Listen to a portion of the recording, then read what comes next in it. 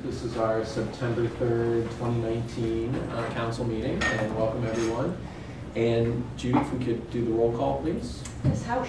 I'm here. MacQueen. Here. Stokes. Here. Kreeger. Present. Sanford. Here. Also present are village manager Josue Salmoran, chief of police Brian Carlson, sorry, I just blinked there for a second, public works director Johnny Burns. I think that's everyone official. All right.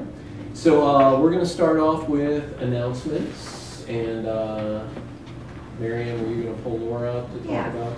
Yeah, so um, Laura um, has come with information about Porch Fest. We're still waiting on batteries for podium. Oh, Oh, okay.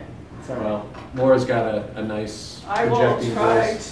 to speak out. Um, just want to let everyone know about Porch Fest, which is on September the 14th, and the maps are out. The Facebook page is fully populated.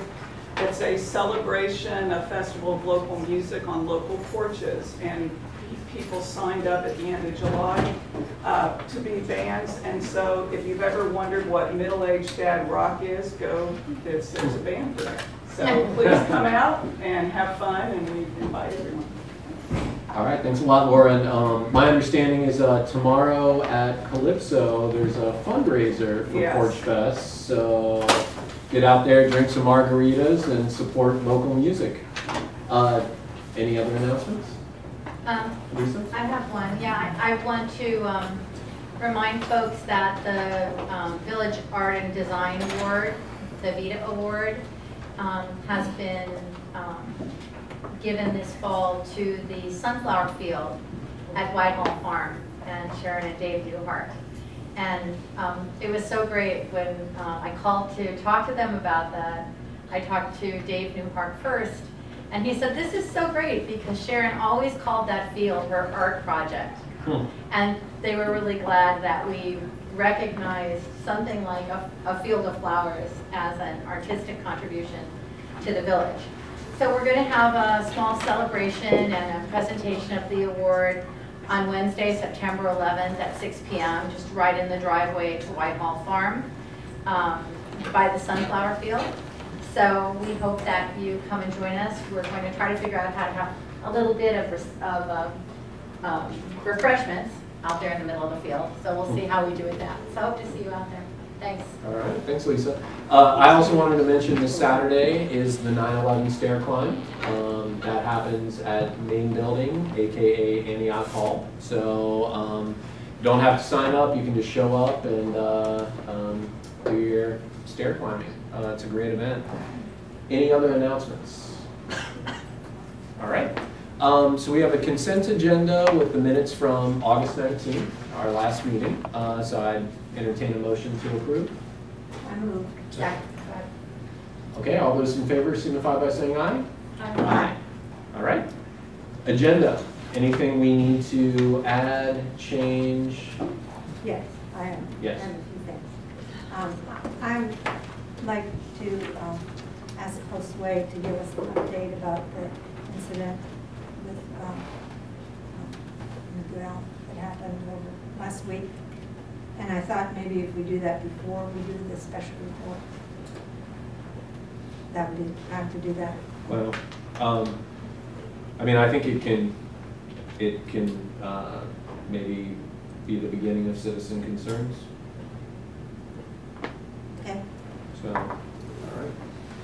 Also, Mark Ewald from the Environmental Commission is going to be coming sometime in the meeting, probably around 8:30, to give an update on uh, our response and what we're doing regarding the Vernay contamination and the EPA.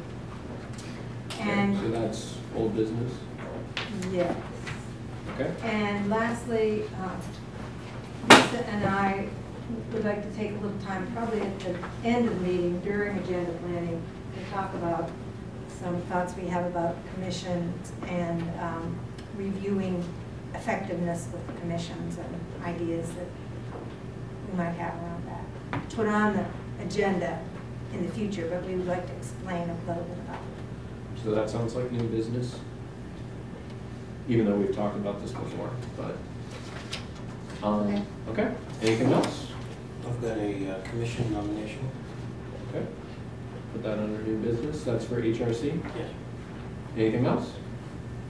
Uh, and I'm gonna take off the, um, active transportation and enhancement committee proposal, uh, since I didn't get it in time for the packet, and we'll move that to the next meeting. Okay, uh, positions and communications, Mary Ann? Yes. We had a number of them.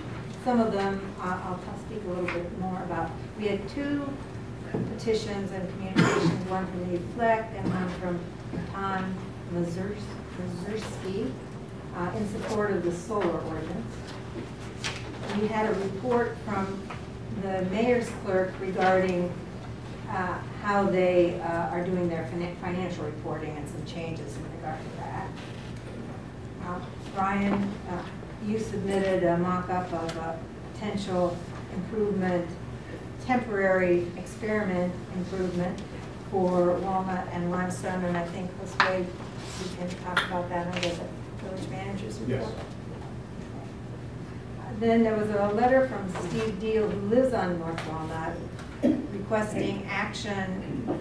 It was a fairly lengthy letter about changes in traffic and changes in parking, requesting that something be done. His concern was safety. And I would like that, I'd like staff to come back with a response to that at next meeting. And Johnny Burns has a proposed sign, new sign for the Bryan Center, which we will talk about under village manager's report. Nick Boutis has a draft resolution that council would make supporting uh, access improvements in the Glen. How do you want to handle that? Um, so this would go on the agenda for our next meeting. Um, and, uh, yeah, they're going after a Clean Ohio grant. It's for a parking lot, essentially, to allow people to have access to that part of the Glen, um, that can't necessarily. That would be very good. I- Yes. I remember when that access existed, and it's very helpful, especially Yeah. for people with mobility issues. Mhm. Uh, Melissa Dodd sent uh, a symbol that they're doing in Bellbrook called Kindness All Around, that they, they had found, I think, from a Florida school. Mhm. Which is pretty cool. And Kate Hamilton uh, had a letter with instructions for people who wanted to support Miguel, uh, who is in detention. No, that's, Yes. Okay, um, so let's get into legislation, and, um, uh, first up, we have ordinance 2019-31, and, uh, Judy, I think we can do that by title only. All right, this is repealing and replacing section 1064.02, rates, admissions, and season hours of chapter 1064, municipal swimming pool of part 10, streets, utilities, and public services of the codified ordinances of the village of Yellow Springs, Ohio. Okay, can I get a motion, please? moved. Second. Okay. Um, so, uh, this is the second reading. Um, I'm gonna open the public hearing, and, uh, Josue, I'm gonna let you begin. Thank you, Brian. Uh, The council package includes the pool rates ordinance uh, changes reflecting the discussion at last council meeting. The proposed ordinance contains one rate for daily admission for residents and non-residents. The rate is being adjusted from, uh, to four dollars from three fifty for ages four uh, through eighteen and seniors sixty-two and older. Um, And that, and then an additional change to seven dollars from five dollars for individuals ages nineteen to sixty-one. The, this is the change that we discussed at the last council meeting. We wanted to create a, a, a lower increase, something that was um, perhaps better and much more accessible to both residents and non-residents. So this reflect, this change reflects that uh, conversation and that desire. I think the one thing, though, that we didn't really discuss, but I know you guys did some work on, is where you came up with the seven dollars for, you know, sort of the, I guess, not youth and not senior rate. Correct. We had done an assessment of nearby pools and splash pads and looked at their rates and their services, and we determined that ours was significantly underpriced and, uh, and undervalued based on the dollar amount that we're charging. So that four and seven figure, it gets us closer to what area pools and splash, splash, splash uh, pads um, are, uh, are charging. So we did that, those numbers are comparable to what uh, rates are being charged in the area. And why did we decide not to do a resident versus non-resident daily rate? There's Or why did staff decide that? right, there's two challenges. One is that we would have to ask and verify residency of all the daily admissions, which uh, creates an administrative burden for the staff, and there's no way of really knowing whether they're showing the proof of uh, of residency.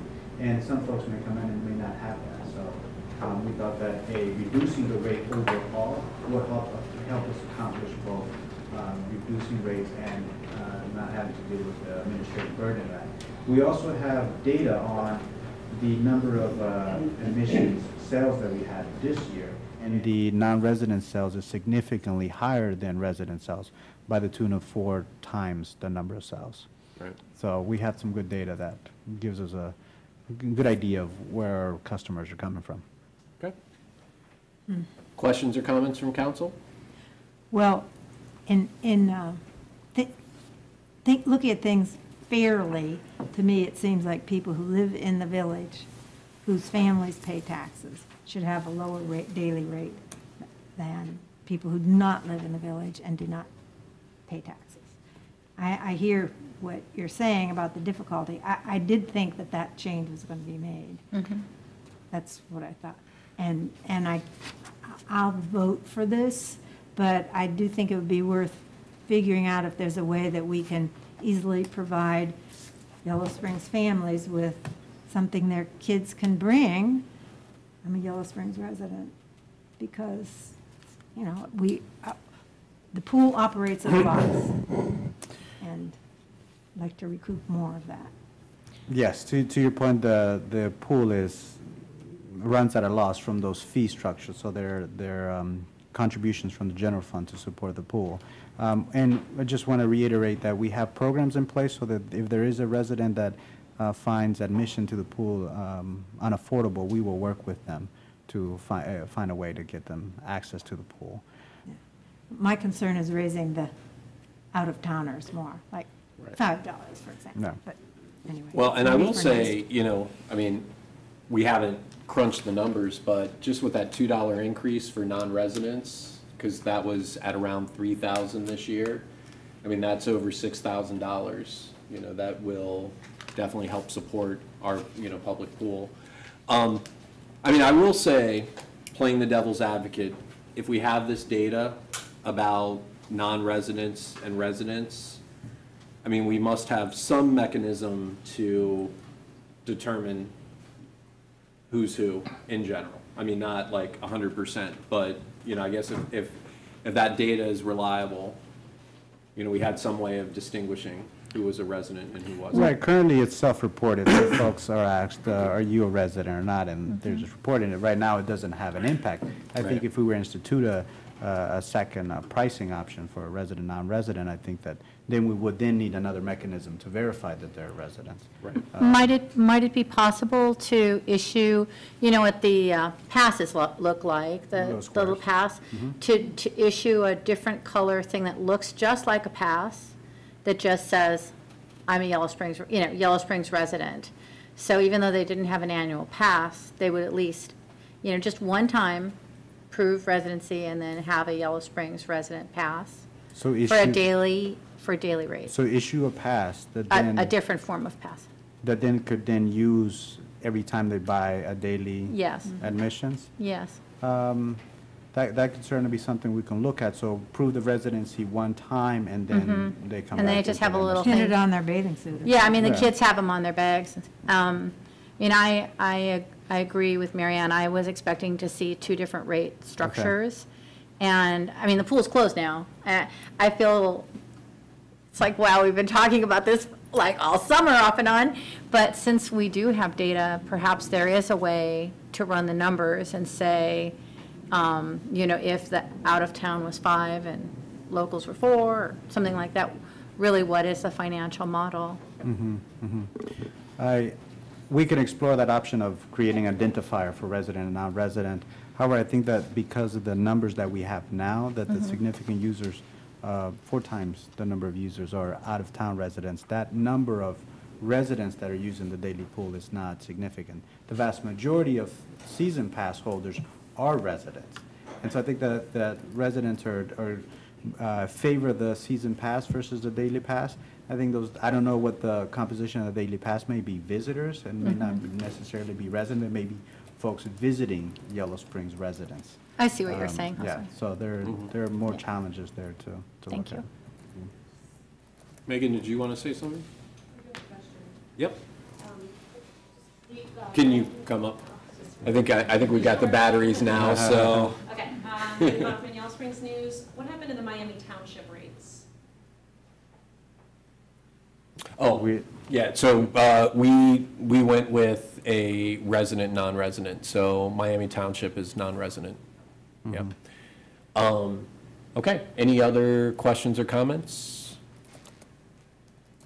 Um, Okay, well, I will say, you know, and I mentioned this uh, in prior discussions, however we vote, um, I do want there to be information, and again, you know, like a little, like quad flyer for any resident that does the daily rate, to let them know that we have swim for all, that we have passes, and that sort of thing. Like, Absolutely, so- that's something that we would promote at the, at the front desk. Yeah. Of what programs are available, what, and any resources that are available. Okay. Mm-hmm.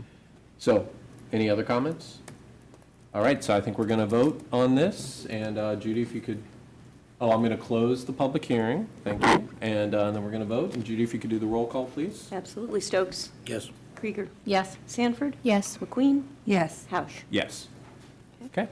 Uh, Thanks to staff for working on this. I think it was, uh, it it was important to get the data, so.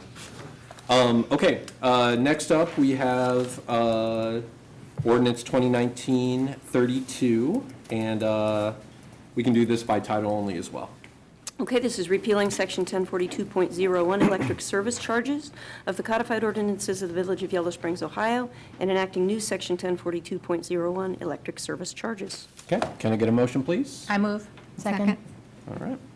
Um, All right, Josue, I think this is yours as well. Yes, thank you. The proposed, or, the proposed ordinance before council repealing, replacing chapter ten forty-two oh one electric service charges uh, regarding res, uh, solar generation. This eliminates the existing cap on residential solar, changes the interconnection agreement from net metering to net billing, and establishes a different buy-sell rate for residential solar customers, reduces the system size for applicable power demand charges, over the last two weeks, staff has worked on plans to operationalize the ordinance, which includes determining the net, the new meter pricing, installation of meters required, required to capture data for new residential solar customers, and estimating demand charges. Through this process, we discovered that certain customers would be adversely affected by installing systems slightly larger than K, 10 KWs, where customers will pay a higher electricity bill to the village by switching to solar. We believe it is necessary to adjust the system size requirement for power demand charges from 10 KW uh, to 12 KWs. Uh, The other change that we presented at the last meeting and the, the the introduction of this ordinance uh, the same. That being that the buy rate is at 11 cents per kilowatt hour, and the residents will sell at 9 cents a kilowatt hour. Okay. Um, So can we talk a little bit more about the uh, bump from 10 kilowatts to 12 kilowatts? Yes. The, the, um, there are some customers who would install a 10 KW system, may have a demand that would, e- would, the demand charge is based per kilowatt of load that they have. So when doing our assessment on the demand charges, those customers may see, give you an example, someone who may use a thousand kilowatt hours, um, and they have a five thou, a, um, a five kilowatt demand charge. That's fifty dollars based on ten dollars, um, uh, per kilowatt. Uh, that adds fifty dollars to the bill.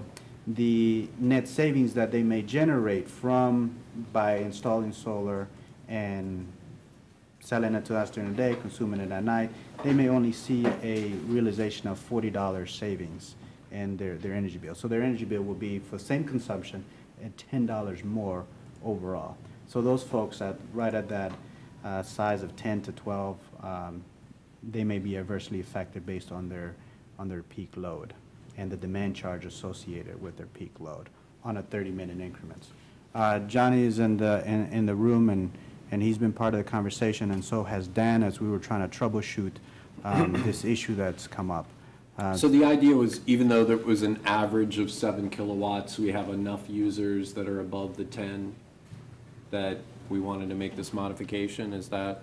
Correct, and a lot of that is just based on what a, what may be slightly higher than an average household, not significantly larger, um, that they would see an increase in their bill, and we're looking at what it, what would cost the increase in the bill, and a lot of it is, um, they're not adding an additional load, this is on the existing load that they have in their home. Okay. Dan, John, is there anything you would like to add? Dan, you can't help yourself, get up there. I'm Dan Rudolph. Um, Yeah, I think what we, we discussed was that the demand charge, especially if you had items that were peaking loads, like charging an electric car while you're drying clothes or something like that, would cost a, a reasonable amount of money, and especially for the sort of moderate sized systems, that could make those people's energy bills be, uh, be pretty high. So this, this increasing it so we have the, the systems under 12 kilowatts seems like a good, good alternative to that. Okay, thanks. John? One of the driving factors that uh, we need to mention is, is for the systems, there's like ten point eight, so we're only 0.8 over. It would cost the village more money to make some money, because then we go to a manual read system, then the, the meter reader has to go out there every month, they have to download the meters, plus they're required to have two meters on the house versus one. So we were spending more money to make just a little bit of money. So by moving it to twelve KW, there's only four people out there now that this will affect. So. it's- Only four people that are above the people that are 12K? above. So we have two fifteens, one twenty-three, and one twenty right now Gotcha. that are laying on the desk to be approved. Okay, So. thanks. Okay, I'm gonna, this is the second reading, so I'm gonna open the public hearing. Uh, Questions or comments from council members? That certainly does put it into context. Yeah. Thank you. Yep. Yeah, thanks for all the work that everyone's done. Yeah. Yeah, it's exciting to see things happen uh, at a, uh, a a nice pace. Uh, Questions or comments from uh, citizens? Eric? I want to thank you because I have 11. Now we know where this came from. 10.8. Uh, And limited to four systems, uh, I guess the question it begs, are these four people getting uh, a raw deal? And I wonder if, it's- and you said they're on your desk, so they haven't been approved. I just wonder, can we just say that you can't have 12?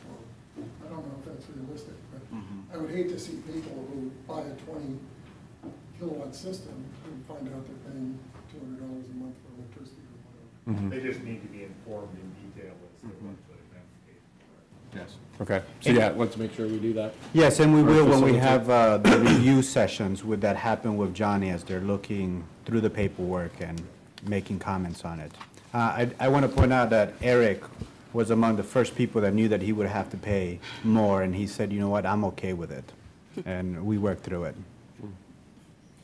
Great. Well, I also want to appreciate the collaboration. I love that, you know, village team members got right into it and that citizens uh, were constructive to come to a positive resolution. It's uh, great. It's what we want to happen with every issue.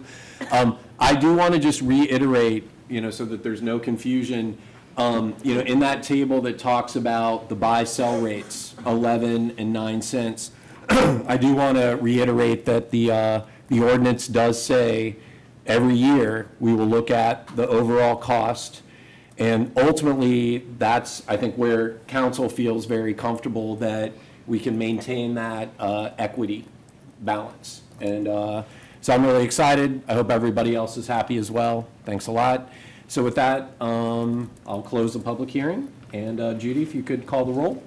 Yes. Kreeger. Yes. Sanford. Yes. Stokes. Yes. MacQueen. Yes. Housh. Yes. Okay.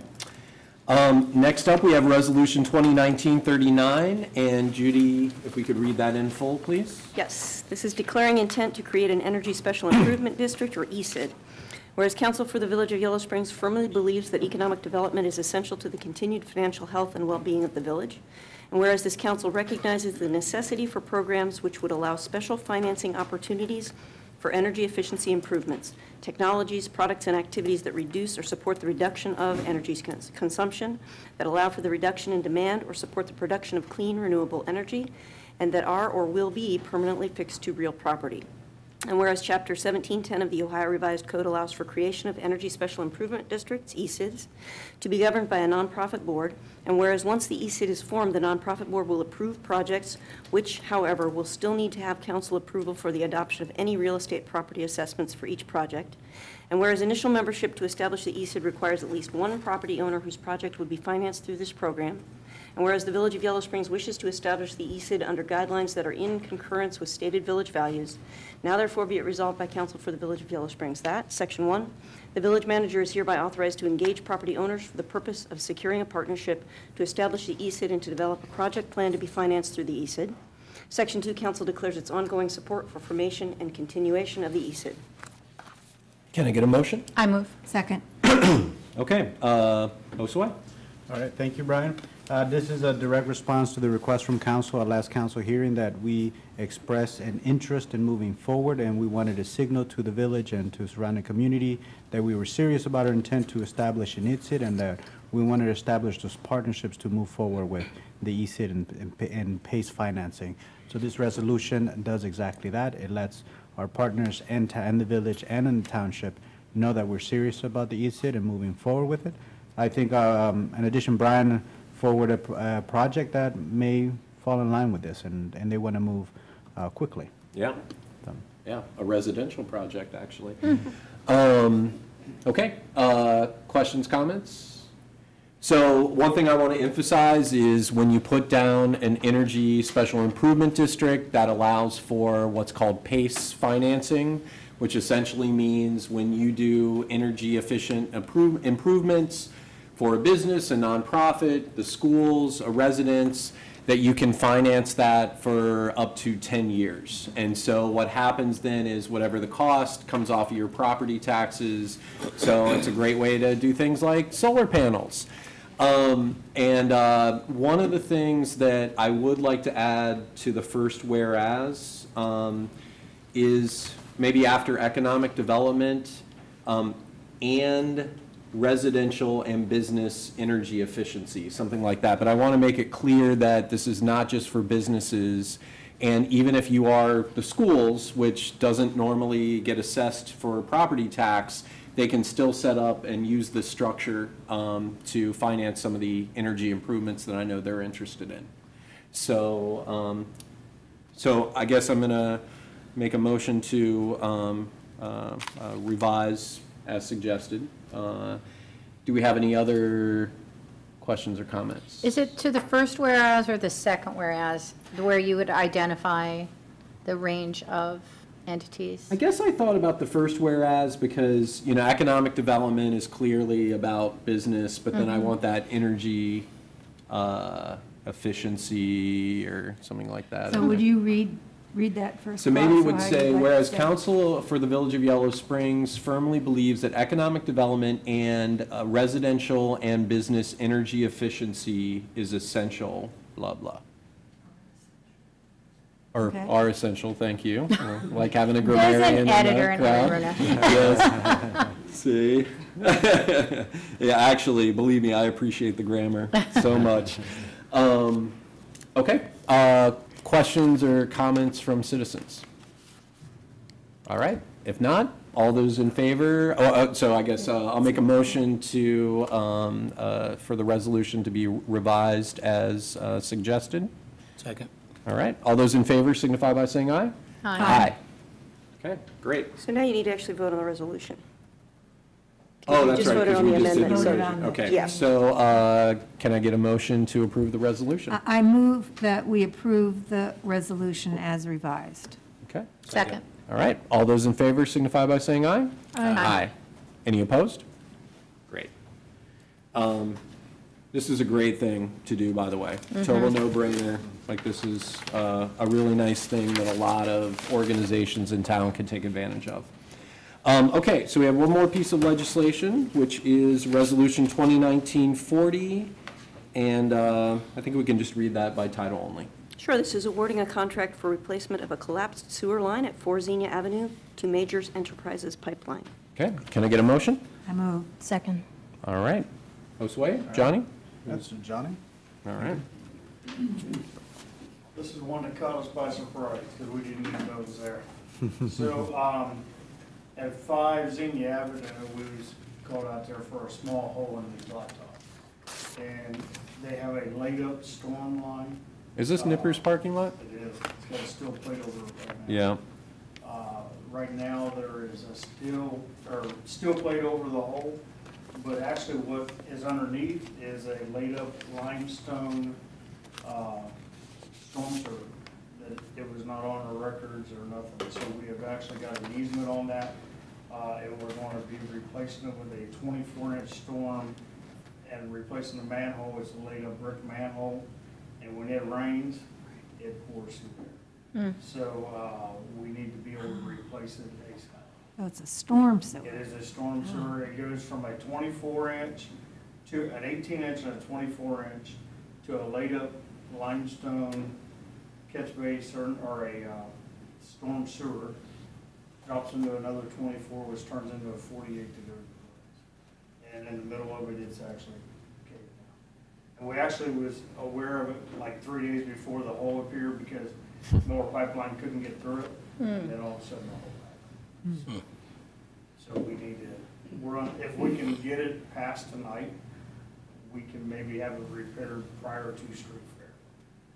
Because right now, every time it rains, the hole just gets water. I have a question. Is it on private property? It is on private property, but we have an easement for that. Oh, yeah, storm yeah, system. I see. Okay, thanks. Mm-hmm. You know, it seems like almost every meeting, we are highlighting more and more the importance of understanding what's underneath the streets. Correct. You know, I feel like we've made a lot of progress in other areas, but this is, I think, just one example. It's really concerning. It's very expensive. Uh, It has to be fixed. And uh, I, I hope that it's not too much of a omen of more of this to come. But, I mean, I'm so, I'm glad we're looking at it. Well, what is the status of the stormwater survey? Uh, the first six initial, uh, areas were done that we had major problems with.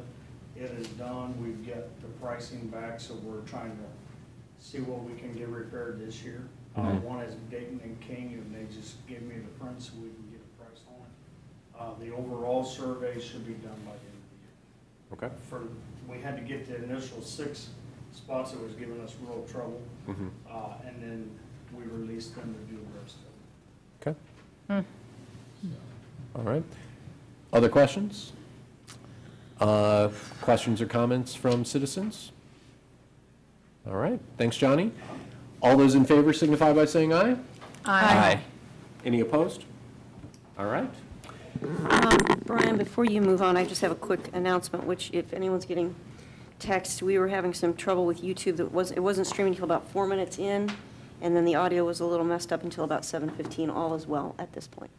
Okay, thank you, Judy.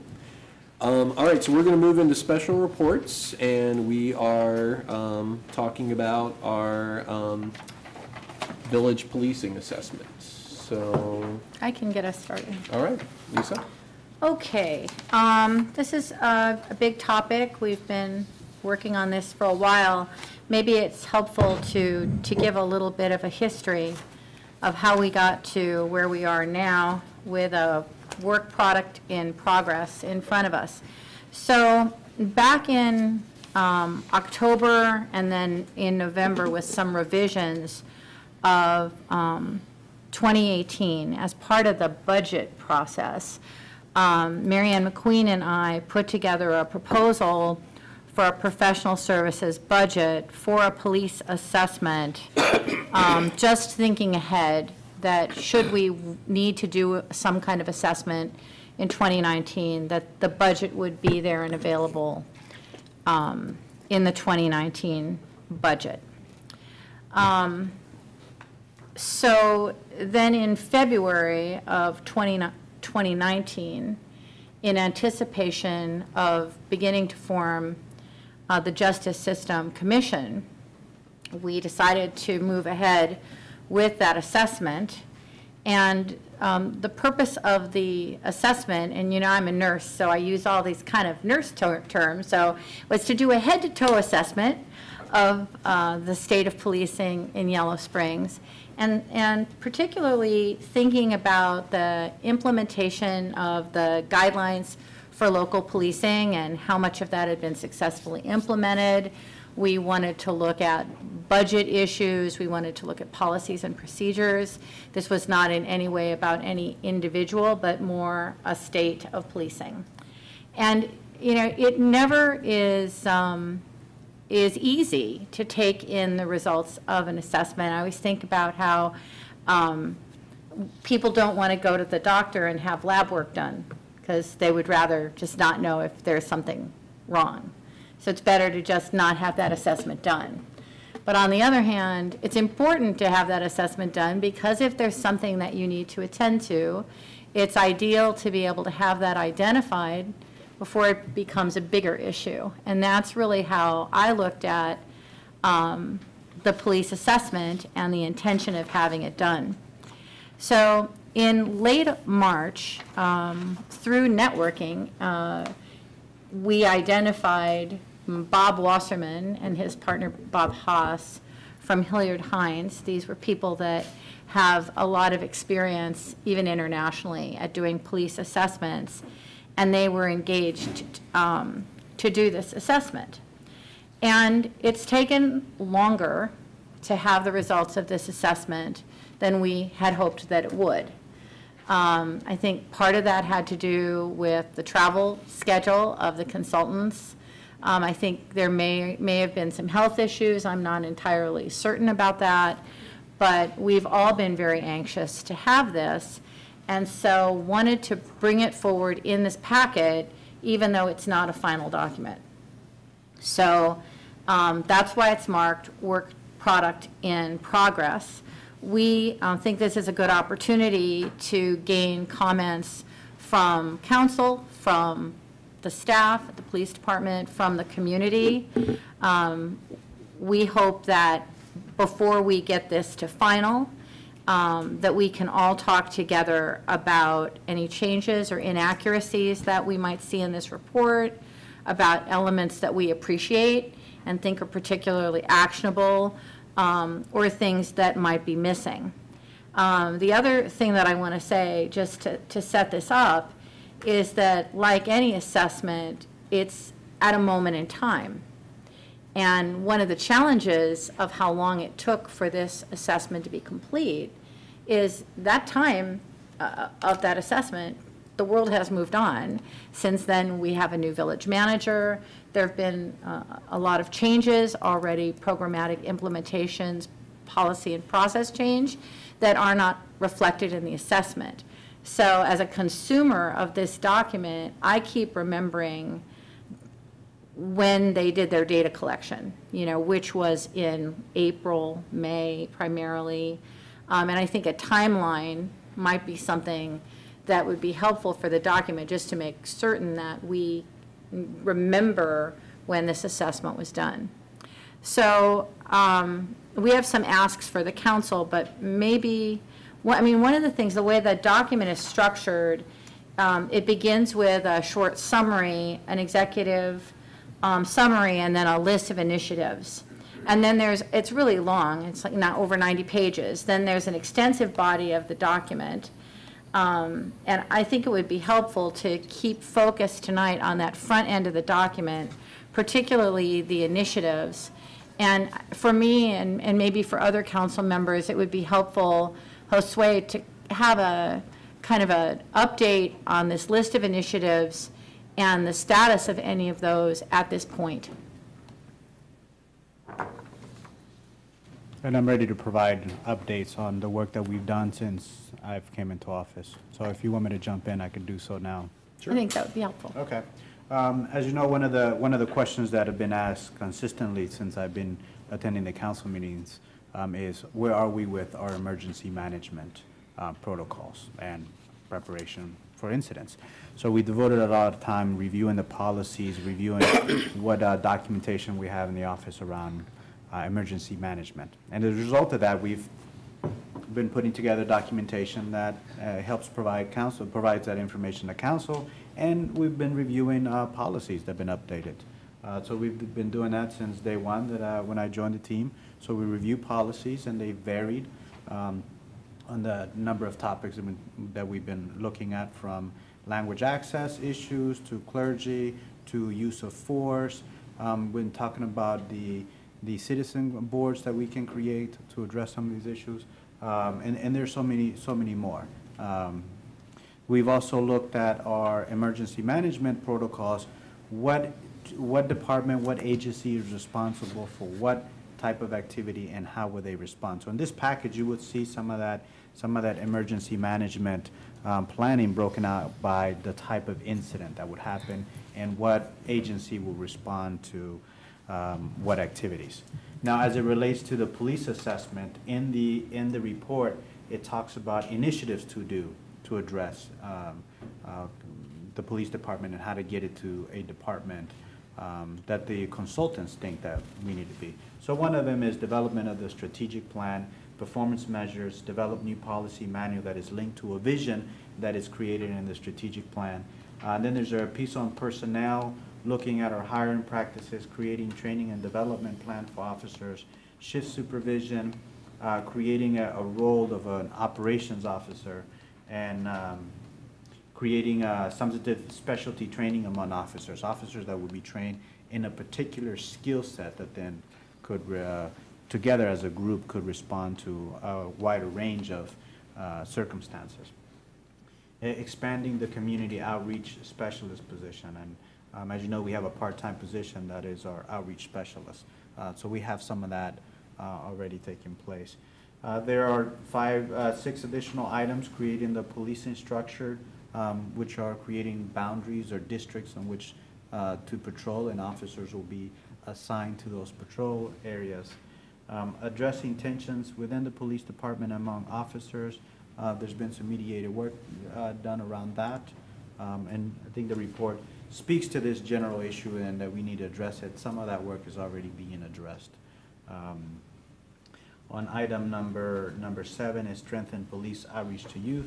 Eight, create social media presence supporting transparency. I think that we've, um, we find ourselves this week in a situation where some of that social media presence is required more than it has been to um, provide the facts around the case. Uh, Nine, creating citizen advisory and complaints committee. We've been reviewing our policies and we've been talking about what kind of boards um, we can create to have that citizen input. So some of that work is underway. And then looking at a formal process for restorative justice um, and addressing some of our violence. Um, So we, we've, we've done a little bit of work in all of these items. Um, I think one of the things that we're waiting to do more of was the police assessment. What is the police assessment uh, going to say? And we see this as there's more good and positive things in this report than the negative things. This provides us a, a roadmap um, of which for us to work on. Um, we may not agree with everything that's in there. I, for me, this is uh, this report's the first time I'm seeing a lot of the a lot of the feedback and the the evaluation. Um, so I'm taking on its value, but I hear from the officers that there's some things in the, in the command staff that some of the, the items are, are are relevant and there are things that we need to discuss uh, further um, to, to find the validity of those items. So in a nutshell, we've been working on the policies um, specifically to address the concerns around our emergency planning, emergency management planning, and how do those policies tie into that. Um, We've been looking at, at the trainings that are been scheduled, and we've scheduled additional trainings directly uh, associated with that need to beef up our emergency management planning. Uh, So that's been in the work, we're doing a lot of team development. And uh, Chief Carlson's in the, in the audience, and if there's anything I missed, um, please. No, I just wanted to uh, express that we are Mike. here. Please. Sorry. It's all right. We just want to make sure No, the absolutely. Yeah, we're looking, audience at home hears it all. we're looking forward to um, the future and, you know, positive changes that, that we can address. Um, I am somewhat excited that we have uh, been working on some things to um, counsel, to Lisa's comment. Um, Some of the things have been in transition and we've reached a certain point where we'll be able to um, move on from that item. I'm excited about the potential of the new Justice uh, System Commission. And um, I thought it was a good idea to have Corporal Charles, Sergeant Naomi Watson with me tonight, Florence, our community outreach specialist. Corporal Bean was uh, planning on coming, but he had a head wound at the farm, and he is recovering. Wow. So he's Thank you. okay? Thank you very much. All He's right. o- He's okay. A Okay. few stitches. Did I answer your question? Yes, it's really, Okay. it's really helpful, thank you. Yeah. And the exact number of policies that are current and updated are 64, with another 41 that are scheduled for review and update if necessary. So, um, I've lived in Yellow Springs almost 50 years, and I moved here while Chief McKee was chief. And uh, anyone who's lived in town, I see there are a couple people in the room that have been, well, a couple people who grew up here, uh, remember McKee. And a lot has been made of Chief McKee. I will say that just as I am no longer the same person I was when I was 27 years old, uh, Yellow Springs is not the same place. And what is demanded of the police department, as well as everything else in the village government, has changed. And I think one thing that's happening is that we're, we've been a small town, we've been able to do pretty well, and now we're in the 21st century, and, and we just have to make some changes. And there are a lot of good things in this report. There are a lot of errors in the report, too, I think. So Lisa and. Grammatical errors, you Well, mean? There are grammatical errors? errors, and I think there are some errors of uh, fact or supposition. But that's for us to discuss. Thi- This is not clearly the only time we're going to be working with this document. I mean, this document will be something that will be a resource to us for some time to come. Today, Josue, Lisa, and I talked about how, sh- how should we frame this discussion today, and then what should be the next steps. What we decided, I think, and I'm checking this out too, is that we wanted, we didn't know how many people would be coming tonight. We wanted to give anyone in attendance tonight a chance to comment on the document if they've read it. We also want to let people know we want to have an extended comment period.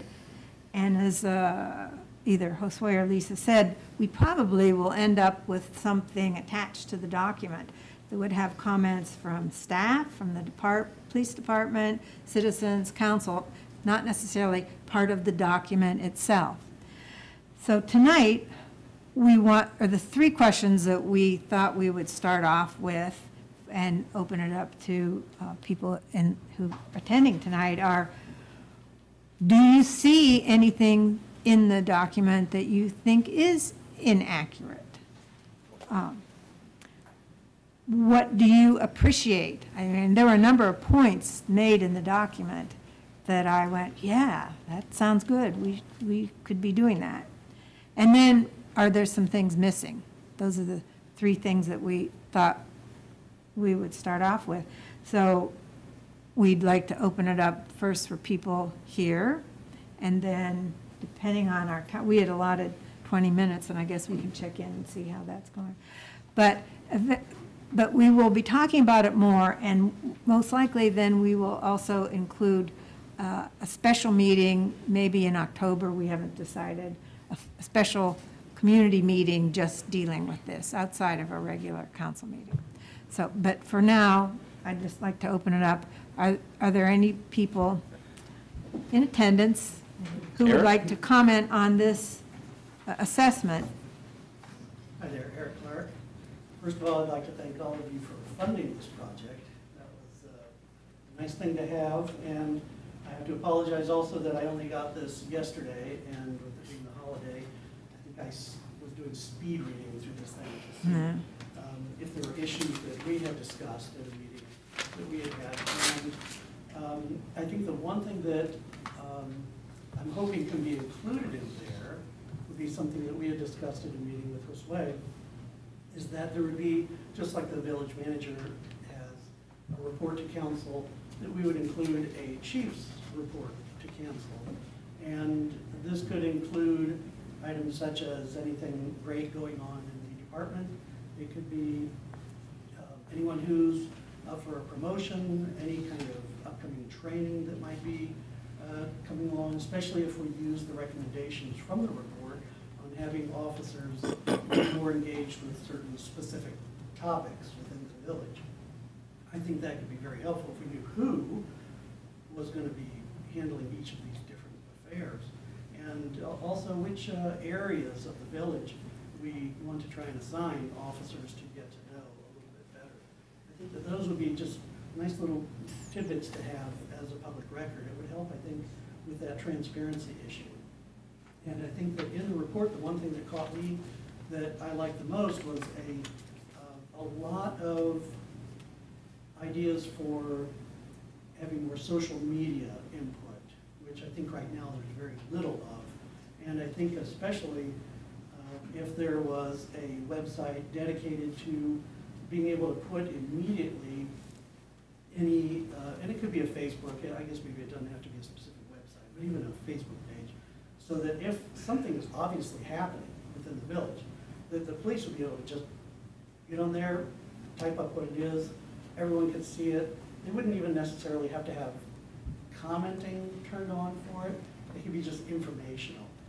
And then from within that, I think that because our village is so extremely engaged in social media, that it would be a good idea if there were a couple officers or somebody who regularly just checked to make sure that the information that is being disseminated throughout the social media is accurate. And then encourage uh, the chief or somebody to get in there and say, well, actually, this is more like what happened, or this is an evolving situation, and uh, let's wait and see what happens before we start making too many comments about it. Uh, Just something to put that information in check and make sure that it's accurate. Thank you. Okay, thank you very much. Thanks, Eric. Thank you, Eric. Uh, Any other comments?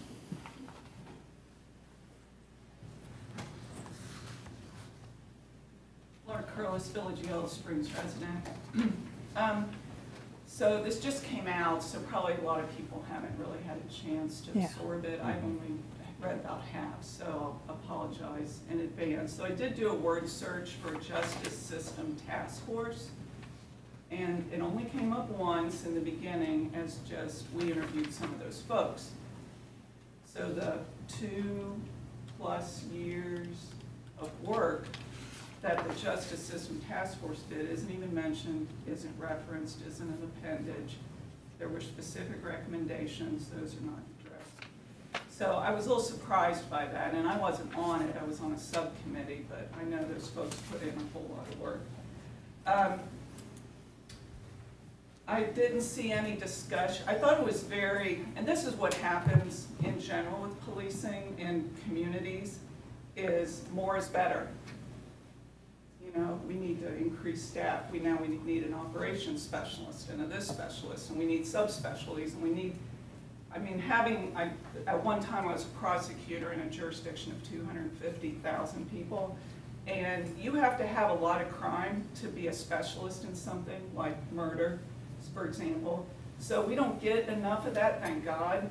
Occasionally, when it happens, you do what? You bring in the specialist. We don't handle that ourselves. We don't have the equipment. We don't have any of that.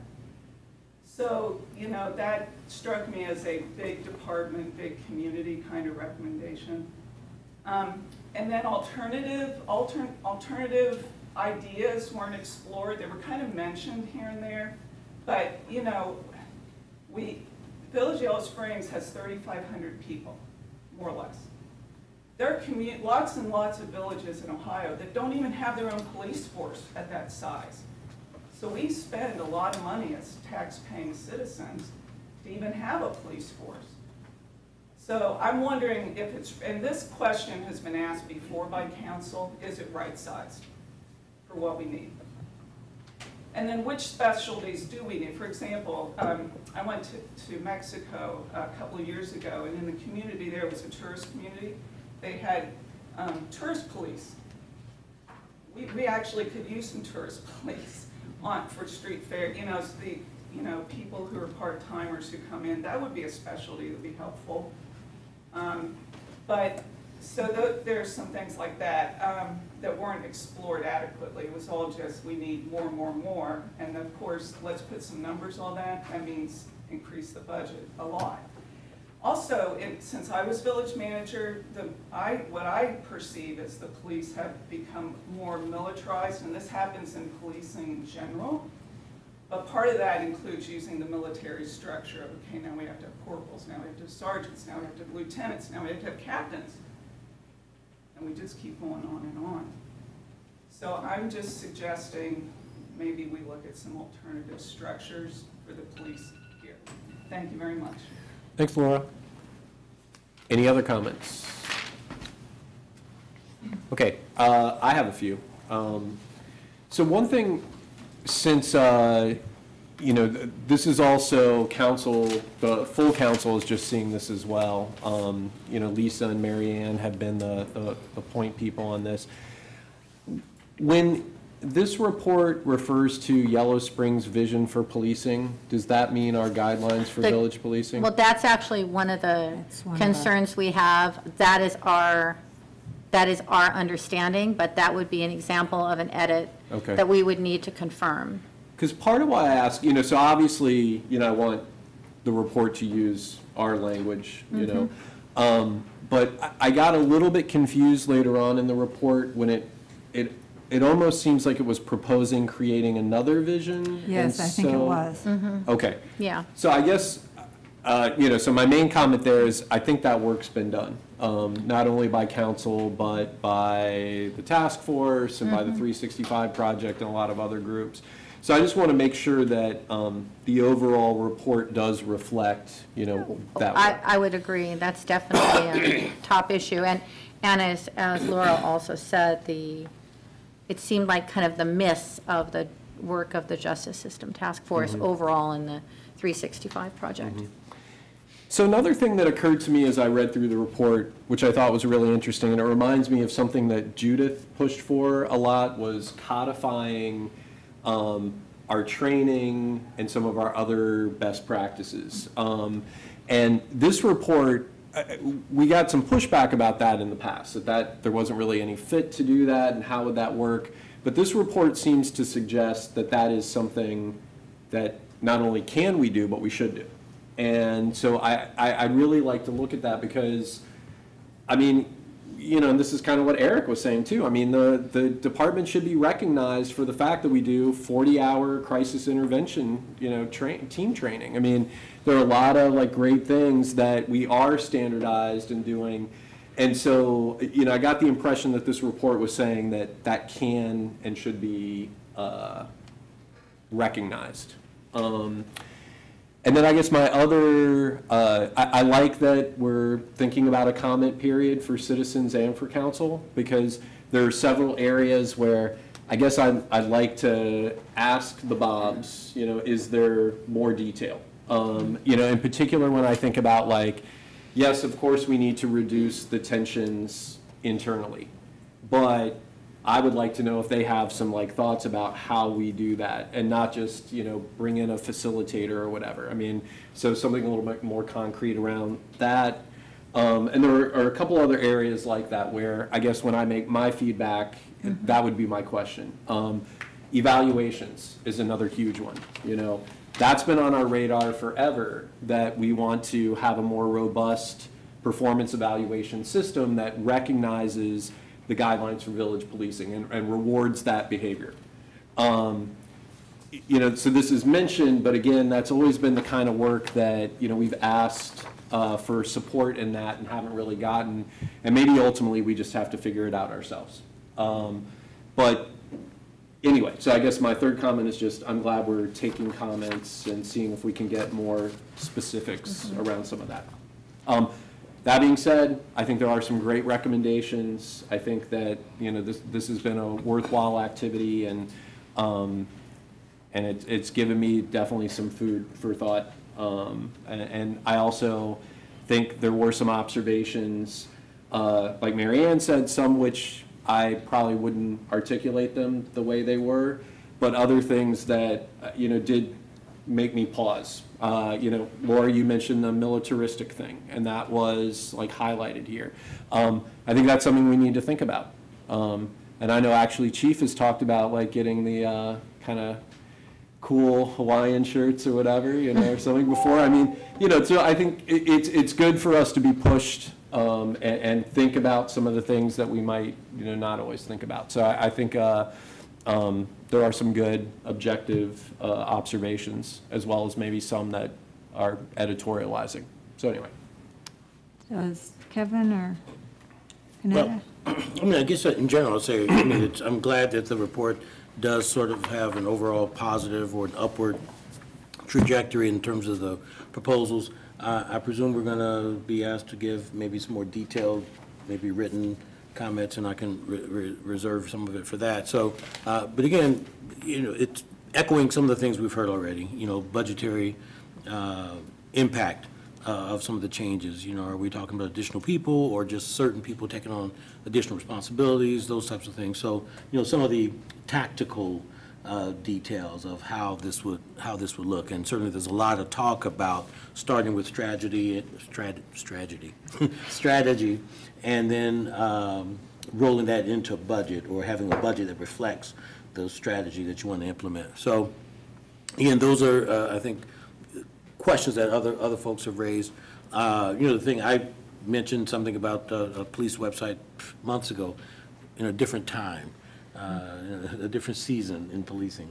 Um, Because again, I know we've always, there's always good stuff going on, uh, but the, but the headlines were not the good stuff. Um, So, uh, so there's certainly opportunity for excellence in that regard. So, um, again, it's got, there's certainly, I think, a positive spin on the report, and I don't mean spin in a negative way, you know, nobody's trying to spin it, it just came out that way. There's a lot of uh, good things that the report suggests. I'm really excited to know that we're down the road a bit on a lot of these initiatives. So we just haven't been sitting on our hands, you know, uh, over the past several months or while the report's been worked on. So um, I would just give a, you know, a thumbs up, as it were, and uh, we'll give more detailed written comments later. Okay. Can I? Um, I was thinking back to the idea of um, the models of a social justice oriented uh, police department and kind of do those models exist? Are we kind of um, doing something that is talked about a lot but isn't fully implemented in other places just yet? So I'd like to know more about that. Um, from a teacher background, good teachers give models of um, what they want their students to do, and so it'd be really nice if we had more modeling about what this actually looks like. So um, I, I just think that that would be a question for me is, do we have, you know, municipalities that are even trying to do something similar, um, even if it's not exactly the same? Because I think that we have a lot of models of um, what is considered community policing, and that's all different. It all looks very different depending on where you are and depending on which officer you're talking to. So it'd be nice to have some more models of what a municipality who says, look, we're going to do social justice oriented policing, and these are our steps to do that. I think that's really important, especially if uh, those models do exist. All right, thanks, Kineta. Marianne? Do you have anything? Um, Go ahead. I have a few, but I- I'll, you may probably say the same. Um, Well, and, and the report is 48 pages, I think. Right. Yeah. There are some things that I'd like to see different in the report and, and some people out there and in here have, have mentioned some of those things. The one thing that comes to mind right now that, that I think we, I don't think we've done, and I do think we, it would be good to figure it out, is how there is that partnership with the community. If, if there's going to be a change in the police depart, police practice, how does the community get engaged with that? He, they talk about that a lot in, in the report, and that seems to be a pretty different shift, I think. Um, So, in fact, maybe that is the kind, some of the kind of practical information that we would want to get. How do you set up that kind of relationship? So chief says, hey, we're thinking about doing X, Y, and Z. How, how does that go to the community and get feedback? How does that, how does that, how do we create something like that? Um, That's all I have to say right now. Okay, Lisa? Um, I- You know, I think that, um, like, like you, I haven't had time even to fully digest this. Um, So I do hope that it's on the agenda again, and, and then maybe we'll have more people who've read it that can come and share um, public comment. And then I think we also need a mechanism for people to, you know, email us, maybe to Judy, um, to share comments, and those could be made anonymous. Judy could anonymize those. I, I, um, uh, Josue and Marianne and I talked today, as, as Marianne mentioned, about by the time the document was final, it would have these sort of three other documents that went along with it, because, you know, this is going to be an important document just for, you know, in- to set in time.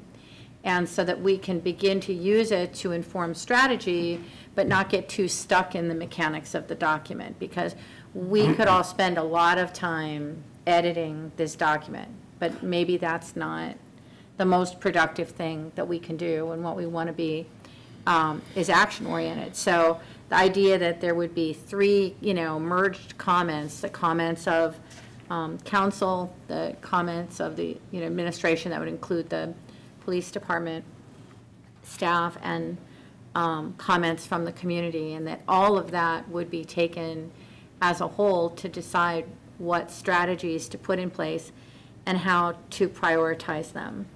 Something that I would want to do, you know, I think this guidelines for local policing document holds up. And, you know, when I start to think about it, these initiatives do map somewhat to the categories of this safety-centered, resolution-oriented, demonstratively inclusive, and locally minded. So I do think, um, although the Hillard Heintze team didn't structure the document that way, I think that it would be interesting to look at how those initiatives map to this, because I, a struggle that we've had since developing these excellent guidelines is like, well, yeah, here they are on paper, but how do you bring them to life? So maybe we can say some of these initiatives will help bring this to life. So um, the other thing I, I, I've been thinking about a lot, the word transparency. Because to me, the word transparency has this implication that something's being dropped that you can't see through and that the intention of that is to block. And, and what my experience has been, and as I actually read the document, is that I don't see them suggesting that anything is being hidden, but that instead communication is not sufficiently proactive. And I think those are two different things, the intention to hide versus the intention to be very, very open, uh, as Eric was suggesting, some of those ways of using social media. So those are a couple of things that I've already started to- think about with the document. Mhm. Yeah, it's kind of an excellent transition into uh, what we're going to talk about Yeah. next, but uh, uh, do you guys have any other comments about the assessment? Anything from citizens that you want to weigh in on, Laura?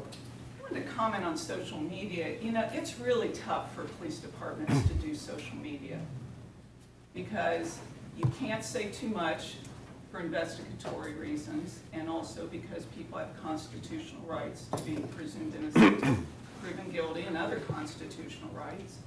So you might be able to do some things, it'll, I think ultimately, I think it's very, very tough to do it well, and it'll be unsatisfactory to a lot of citizens. I mean, yeah, you might put out alert, we've had break-ins in cars on North Winter Street, okay, that's good, but if you start to say, well, we think so-and-so did it, well, that starts to get into problem area. Mhm. So it's almost like you need somebody at the um, commander level to review every post that goes out, you really do. So anyway, I just say, it- it's Mhm. not Yeah, it as is. easy. It's not I easy. feel it's not as easy as this guy made it seem Right. it is. Right.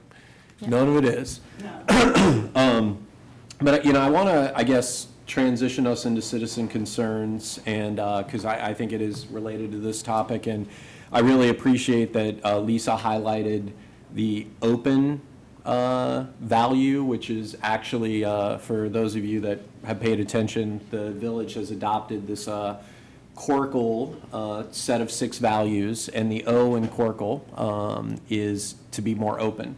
And, uh, you know, I want to start by saying I'm really happy about the press release that Chief put out, and I know Josue was a part of that, because that is, to me, a real sign that, that we are embracing that value. Um, We want to be direct, we don't want to be defensive, transparency is key. So the other thing that I thought a lot about, especially given what's, uh, you know, happened over the last week, is um, the part of the report uh, or the assessment that talks about um, that balance between discretion and, uh, and policy. And one of the things that I think we need to really think a lot about um, is when we establish policies, you know, that, I mean, policy is great, you know, like hotels love to have policies. If you don't like cancel and three days before, we're gonna charge you, whatever, you know, it's easy to follow policy. But the impacts of those fixed policies can, can be really detrimental. And so I know some people are here with, with, uh, you know, the situation in mind. And so I do want to um, hand it over to Josue to give that update that Marianne asked for. But, I mean, ultimately, to me, the biggest takeaway when I thought about this assessment is how do we strike that balance where common sense and scenario testing and, and some of those other things come into play. Because ultimately, we have a commitment, and I actually had Judy print it out when we passed our resolution about being a welcoming community and how we are protecting all of our res- residents and all of our citizens. We need to make sure that we're delivering on that in every policy that we have. And, and whether that's our police department or our village policies or the pool or whatever. Um, and, you know, I think this is something that, I almost want to read it again, but, um, you know, it's, it- it's, it's a really powerful statement that we are committed to. And we have to think very carefully whenever we lay down, you know, a policy, which, again, seems to make sense and is easy to follow, but can, can have some unintended consequences. So, Josue. Thank you, Brian. Um, I know that most of us probably seen the public statement that we made, but I would like to read it because it provides a good summary of what the facts are and what took place and what we've done, and looking into the future, what we can do, uh, and addresses your point. So, uh, on August 20 uh, 26th, uh, local resident Miguel Espinosa was taken to the Greene County Jail for driving suspension violations and no operator license, where he was held and subsequently transported to the Butler County Jail relating to a detainer from Immigration and Custom Enforcement. Current police protocol instructs our officers to take repeat offenders uh, of these particular offenses to the Greene County Jail as an effort to change the behavior. We are saddened by the unintended consequences of our protocol on Mr. Espinosa. We, as a municipal government and police department, must face the reality of the catastrophic damage that our actions can have, particularly on our vulnerable populations. As a result of this incident, we are reviewing our protocols, guidelines, and policies to find a better solution that meets our legal requirements, ensures public safety and well-being of the community, and is sensitive to the dynamics of vulnerable populations. The Yellow Springs Police Department will continue to explore ways to protect every person we encounter. So this covers some of the basics of what, why uh, Miguel Espinosa was taken to Greene County Jail, that there was a repeat offender for driving without a license. Um, And our current policy states that this is what a protocol will be, that we would uh, do this action. Um, So that's where we are. Since then, uh, as you know, we've, I've attended a meeting with the community. Uh, Meeting took place at Rockford Chapel. I think it was referenced or published in, uh, there was a post on Facebook, there were around 60 people there. Um, So a- it was a good turnout. Um, We did review um, some of the incidents that led up to it, why did this happen? Um, But a lot of the conversation was, all right, what do we do now? How do we help a local resident who has demonstrated to have uh, deep roots in our community, runs a business, employs local residents, is raising a family in Yellow Springs, and it's, uh, it's, they're, he is part of the vibrancy of Yellow Springs. And how do we, how do we uh, help that individual?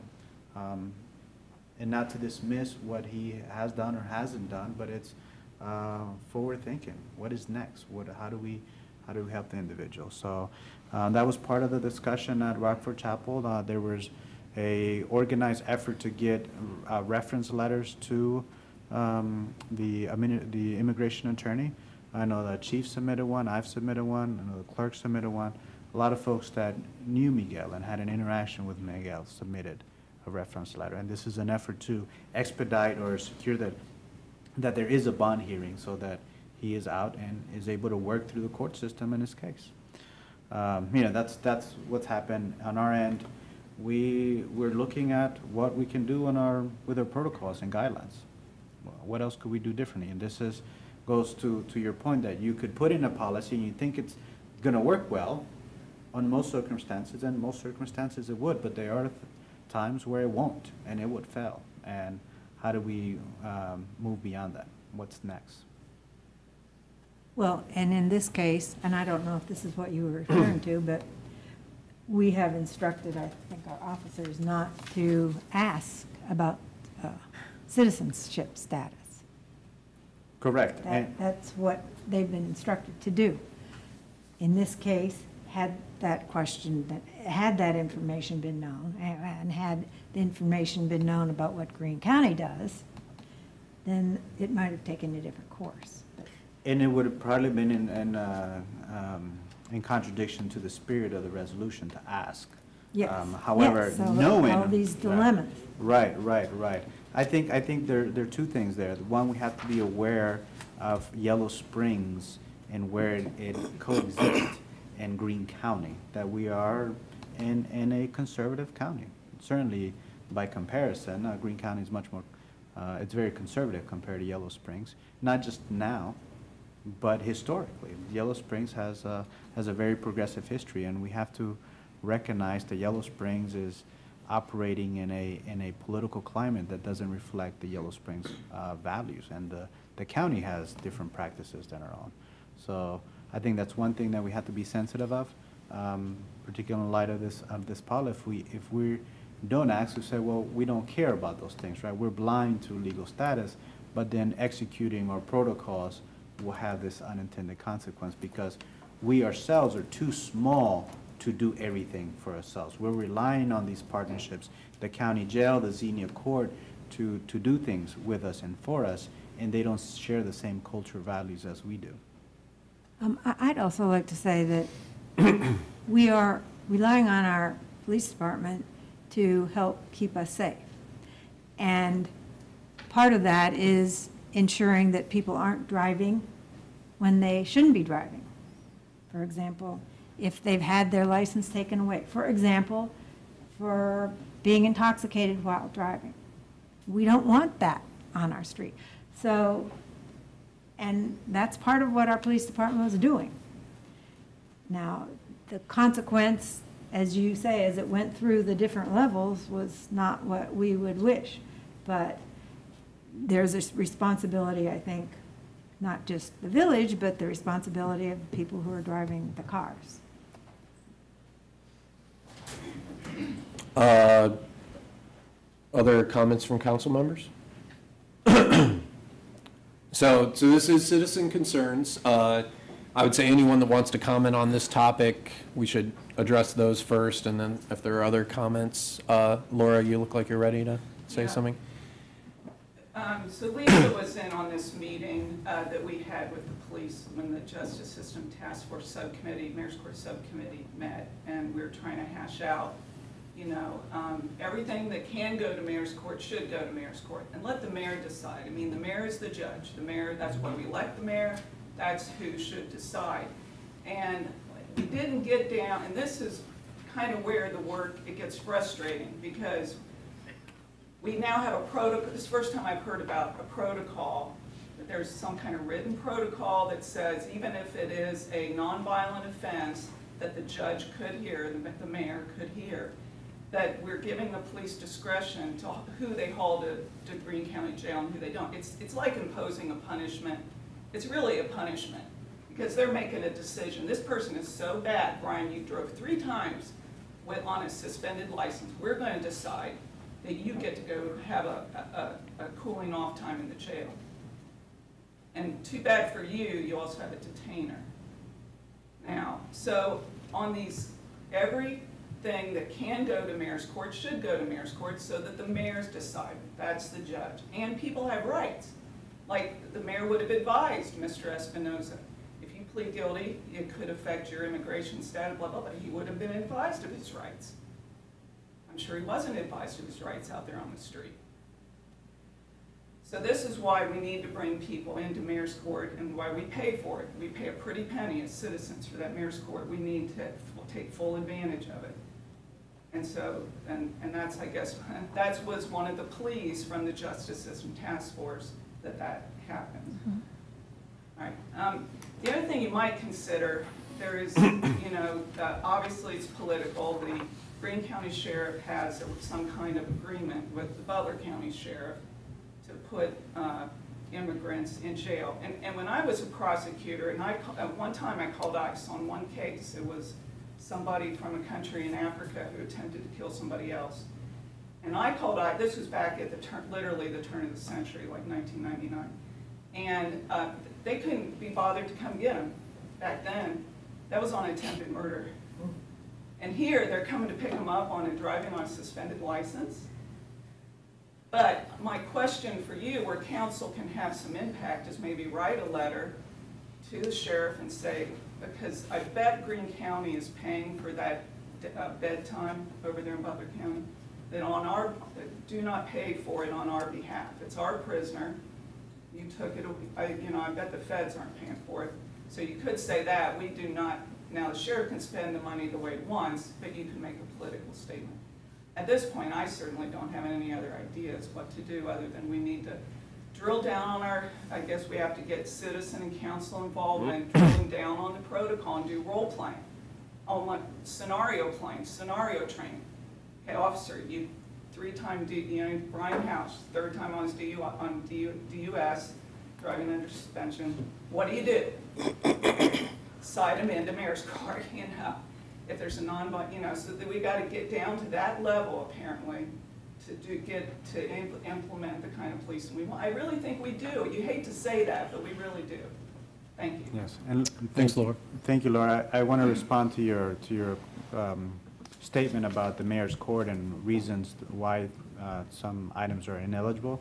Right now, we're issuing a report on a monthly basis on what cases aren't sent to, or not sent to the mayor's court. And a lot of those items that are not sent to the uh, mayor's court is because they are a second offense and enhancements. And a Uh. Enhancements. There are other things associated with, well, with a, with a charge. Uh, But typically, a lot of those would be repeat offenders. Uh, And those are the things that we're reviewing. Mayor can handle repeat. Yeah. Okay, any other comments? All right, I think I am going to read from this resolution, um, because I, I want everybody to be clear on what our policy is and what we've committed to. So this was the resolution we passed last year, 2018-42, affirming the Village of Yellow Springs as a welcoming community for all persons regardless of country of origin, ethnicity, age, gender identity, sexual orientation, income, ability, political affiliation, or religion. So I'm just going to go down to the therefores. Section one, council for the Village of Yellow Springs supports and encourages local and regional efforts to welcome and offer sanctuary to immigrants and others who are being targeted on the basis of religion, nationality, culture, gender identity, race, or citizen, citizenship status. Section two, Council for the Village of Yellow Springs is committed to the protection of law-abiding village residents and visitors from abuse, harassment, and harm regardless of their immigration or refugee status. Section three, Council for the Village of Yellow Springs directs that no village department may use village funds, equipment, or personnel for the sole purpose of detecting or apprehending persons based, uh, sus- suspected uh, immigration status unless in response to a court order. In furtherance of this policy, no village office or employee shall request information about or otherwise investigate or assist in the investigation of a person's immigration status unless a criminal warrant exists, a criminal violation was reported, or an arrest was made. And section four, no village department or employee shall deny equal access to village services based on immigration status unless required by law or court order. Such denial of access shall include, but not be limited to, soliciting immigration status in any application for village services, predicating the provision of services on the immigration status of any person, or delaying the provision of services based solely on immigration status. And then finally, it shall be the policy of the Village of Yellow Springs to vigorously oppose any effort to require the use of local taxpayer resources for the enforcement of federal immigration policy. So that tells me two things. One is, we made a strong statement about what our policies are. We've got to, you know, do that scenario testing that, you know, I mentioned, that Laura mentioned. And secondly, I agree with Marianne. I- I'm seeing some conflicts in this that maybe also need to be resolved in terms of how do we like assess that information so that we make the right decisions about immigration status or whatnot? I, I don't think we know enough yet. I mean, we've got to, we've got to learn more. And, and I believe that's what Chief and the police team and Josue are going to do. Right. All right. Um, any other citizen concerns? Okay, thank you very much. Um, we're going to move into old business. And uh, the first thing we've got is the ballot initiative update. And Judy, I'm going to let you handle that because you prepared some documents on that. You sprung that right on me before I found it in here. See, I like to keep you on your toes. uh, The, long story short, uh, they held the We're excited. That's a- um, Basically, uh, the solicitor's argument about the um, village being a charter community and having the right to uh, make this decision held, held water, at least insofar as the Board of Elections did not want to be named in a lawsuit and felt that the decision should happen further up the chain. Um, And so they went ahead and approved as to form. So what you see in the packet has been, it it is what will appear on the ballot exactly as you see it in the packet. Um, So I was, you know, any education that anyone wants to do around that, either issue, this is what the ballot will look like. It, I mean, there- it doesn't preclude a challenge further down the road if, if the Secretary of State decides they want to challenge home rule power, but that's not our concern at this point. Yeah, and I think it's, uh, Josue, do you want to note what the Board of Elections kind of highlighted in their hearing? Because I, I think that's of interest. Yes, I think that there was, um, there were, there were some comments by members uh, of the election board to move the conversation to talk about the social policy issues, and I, I, I'm glad that there were two individuals that could steer the conversation back to what was, with, what falls within their purview. And that being, is this an action that, uh, has it been done correctly? Does it meet all the administrative um, uh, requirements to come before the election board to approve or deny? And there are two individuals that stir the conversation in that direction, and that ultimately is how they were able to move forward on this. There were folks that were looking to bring in, or they introduced a topic in a discussion that was not presented to them. There, You know, they were concerned about, well, you know, what do 16-year-olds know? Or this non-citizen uh, question. Um, And they're, they're, they're not in the, in the packet. All their, well, their legal requirement was just to ensure that this was brought before them in a proper manner and that it met the legal standards. Um, So I'm glad those two individuals were able to move the conversation along and keep the body uh, focused on what their role is and not to meddle on what Yellow Springs wants to do on other things. And I think that's, that's kind of the, what I'm excited about, regardless of how you feel about whether 16 and 17-year-olds and non-US citizen residents should have the privilege to vote or not. What was important in the victory that we secured was the guarantee of home rule. And that's why it's important that this made it to the ballot. Because if, you know, that's how Ohio, as well as 20 other states, are set up, that localities should be able to have local control. And if this is something that our citizens decide is the right fit, that we should have inclusivity around voting, then we should be able to do that. Um, So we'll see what happens uh, uh, in November. Um, And I expect, as Judy said, that there will be some education around this. Uh, It's kind of interesting how several to- topics tonight are kind of uh, uh, converging. Um, But I think, uh, I, I was really happy that Judy Josue and Chris uh, made the case for, you know, again, why this is under our home rule powers. Um, And they should not be talking about their opinions about how they feel about who should and shouldn't vote. Okay? Any questions? All right. Uh, Brian? Yes. Oh, Megan, yes, sorry. legal permanent residents or just all residents? So, um, yeah, so basically, um, the, the charter amendment, if passed, would be if you are a resident of Yellow Springs. Um, I think in practicality, and one thing that I believe was highlighted to the Board of Education was, uh, Board of Elections, is, uh, if, if you do not have legal status, I think it's very doubtful that you would go to the Board of Elections to register uh, for an election. Um, So I think de facto, it would end up being people that are legal, non-US citizens, you know, green cards or or whatnot. Um, But the reality is, uh, our amendment is saying any resident of Yellow Springs that's 16 or older would be able to vote in municipal elections. Okay. Well, and I left this out, and just to follow up, there was some concern raised about potential cost to the Board of Election and, and how it would be handed, handled procedurally, and I would like to give a shout out to Lynn McCoy, who handled those things fabulously, and simply kept saying, that's our responsibility to figure out, and we will figure it out. Um, And so it may be that there is some small cost to um, give those persons paper ballots. It certainly wouldn't be anything substantial, and the process is not yet figured out, so it, but it will be. Uh, The only thing I'd like to chime in with it, it's probably not for tonight, but I do think there needs to be a, a nice communication strategy, a comprehensive communication strategy. I do think, and I think this was suggested in a prior meeting, that we formalize some outreach to the schools.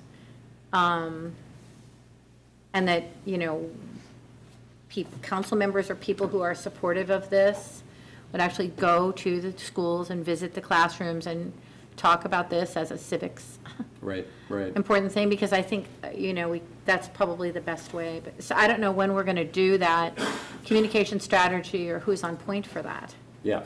Um, so there is, uh, you know, because we cannot, um, we cannot advocate for the charter amendment as elected officials. Um, you know, we can put it on the ballot, but, uh, there is a citizen committee, um, that's forming to, uh, to inform the public about that. And regarding the education piece, uh, Mayor Conine is already committed to being part of that education, which I think all of us should be as well. I mean, it's, yeah, makes a lot of Um, sense. Is it Education possible?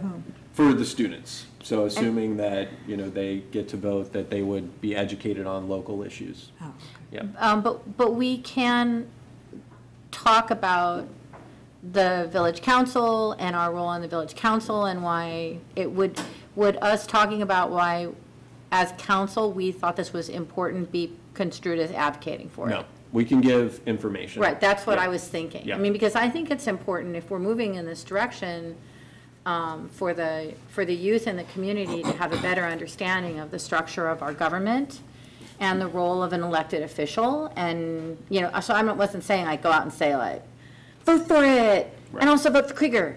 You know, I, no, I was, I was really, I was really just saying Yeah. that we would be out there, you know, Sure. yeah. Yeah, and we can definitely, I mean, we can always inform.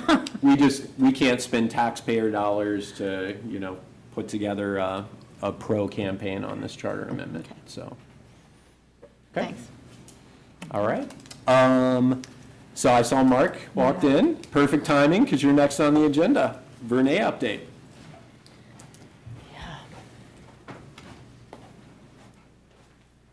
Hi, I'm, I'm Mark Ewald, part of the Environmental Commission and on the Vernay Cleanup Subcommittee of the commission.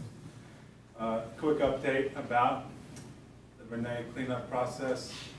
We're in another round of uh, cleanup plans and revisions and comment period. And the, the contractors have designed a cleanup plan, and now it's our turn to look it over and review it and comment on it. Um, The EPA is scheduled two two meetings with Yellow Springs in October. Date is yet to be determined in time. But one meeting is a private meeting with village, uh, village government and staff and the EPA. Uh, and that one will be a, a dialogue conversation, and, you know, we'll be able to ask questions back and forth with the EP, US EPA. And the second meeting, um, is a public meeting, uh, open to the public, and it's gonna be more one-directional, informational from the US Um, to prepare for the first private meeting, our subcommittee is gathering documents, and we're going to send out those documents with like a summary, executive summary, to, so the meeting participants can be advised and know how to ask like higher level questions, semi-technical questions. Um, For this, for this preparation of this meeting, we recruited uh, help from two professors, Denise Taylor of UD. She's an environmental engineering professor. She's gonna help uh, write a- an executive summary for the meeting participants of like who, what, where, why, and where are we now, what, you know, what's some of the major risks for the public in the village. Um, So that you can just read this one pager one and a half pager instead of having to dig through four hundred pages and get lost and things. Um, The second uh, ex- technical expert that we recruited is named Abinash Abu- Agrawal from Wright State. Uh, He works in the in the environmental, uh, something to do with environmental department. You know, he teaches about remediation and he teaches classes and his students on how to remediate, re- remediate sites like this. Um, He, we asked him to provide more technical, technical comments, technical questions. Are we missing anything? Um, And more as like a technical expert. Um, So we're gonna be, our subcommittee is gonna work, continue to work to plan for these meetings, and we're going to send a meeting invite uh, out via Hostway to probably you and Marianne, Brian, and um, also Johnny and the, the guy, the, the head of the water department. Anything else? Um, I think there's a, uh new meeting that's being scheduled, uh, one with the residents, um, that we just became aware about, so now there'd be third, third meeting. Not, not, nothing for us to be Yeah. involved, but just so that you know that there is another meeting that would take place between the EPA and And the the- residents. So I understand is that the So the EPA neighbor- wants to meet with all of the like active parties. Active Gotcha. You know, Okay. one being the village, Mhm. one being the general public, and one being the citizen group in Mhm. Omar Circle. Right. Mhm. And the citizen group has their own lawyer and technical expert on hand. And so they, they want, com- the EPA wants comments from all of the active parties. And then on a timeline, the comments will be due sometime early part of next year. So they would not be, ex- they're not expected in this October meeting. This is more of an orientation of Yeah. what's going on, providing an overview of what's in the works in terms of what documents have been provided to them and what does this comment period look like. So then it stretches into 2020. So is somebody paying Taylor and Agrawal, or are they doing this This is pro on bono? volunteers, so On they're, volunteer. um, so as part of like a tenured faculty, you do teaching, service, Mhm. research, right? And so this is probably falling in their service bucket. So if I understand correctly, that they're potentially helping the village team prepare, um, I, I guess one thing I'd be curious about is if there's a way to kind of have a pre-meeting with them to talk about their executive summary and maybe make sure that, that we have it straight. You know, so if in fact it is Josue and Marianne and I or whatever. Um, so I don't know if that's a possibility or not, but, um, I would like to have that opportunity Yeah. to just kind of make sure, like, we fully get it. Okay. Yeah, that's a possibility. Yes, I think we can, we can arrange for that, so. I mean, it could be a um, phone meeting or whatever, you know? Right, right. We thought about the orientation being this, uh, an opportunity to bring everyone to the same level of shared understanding of what's happening and Right. um, what's the information that's on all these documents. And it's dense. There's things in here that are, that are very uh, complex, and we're trying to get it down to the essence. What is it that we as, as, as a government, as key stakeholders, holders need to know? What do we need to know about decontamination, the technology that's being employed? And this is one of the things that I really appreciate about the two um, consultants, the free consultants that we have, is they have a different approach to the work, and they're still, they, they come to an agreement onto what are the things that we should be looking at, but they have a different approach, and we're getting the benefit of having these two different Different from each other. Different from each other, Uh-huh. correct. So, Um, um, this month, this, the subcommittee has another meeting, that's Tom, Dietrich, Nadia, and I, and, and probably Josue, and we're gonna meet, have, uh, what's her name, Mayor? The, the representative from the citizen group. Marcia Wal- Marsha. Walgren? So we'll meet, the five of us will meet again, uh, to prepare for the, you know, for the October meetings. And we also have a regular monthly environmental commission meeting too. So there's possibly two, and then this third meeting that you suggested before the October meetings. Okay. And, and Mark and Tom have gone uh, to great lengths of collecting all the documents, creating a README file or list of files of what's in each document and what they relate to. Yeah, and Uh, they're like sorted on who's the author, when was it published, who wrote it, to whom, to whom, and, you know, some of them are two hundred pages long, some are like page and a half. So we wanna, we don't expect all these meeting participants to read everything, but we want them to be able to ask a higher level question or a semi-technical question. I- I'd like to make sure I understand. So the first things that our two consultants are doing are helping us ask intelligent questions when we meet with the EPA. Yeah. Then are they also going to work with us to write a letter after that, after October, to the EPA with the things that we now believe should be done for the cleanup? Yeah, so the comment period for the plan is open in the springtime, and so we have time to prepare comments, and I'm sure we ask them, and they'll, they'll help us, you know, Okay. draft comments. Thank you, Mark. Mm-hmm. Thanks a Very lot, Mark. helpful. Are you, are we going over this again in the village manager report, or is that already been done? No, I don't. No, I this is it, yeah. You, Yeah. you, Thank you can leave. Feel, feel happy to stay. You only have to do that once. All right, thanks again, Mark. Um, yeah, we appreciate the work. Uh, gosh, I would love to get that brownfield cleaned up. Um, okay, we're on to new business, and, uh, Kevin, I think this first one is you talking about, uh, an opt-out for the utility roundup program.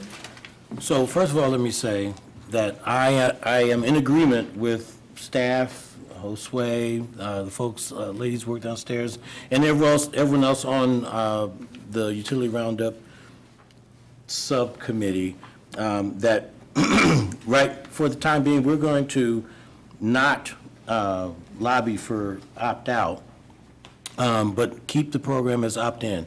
Um, Early on, uh, I, and, and uh, when Lisa was working with us, was a proponent for um, the program being opt-out. And what that means is um, everyone would be uh, put into the utility roundup uh, program, and then if you did not want to be in the program, you could opt out.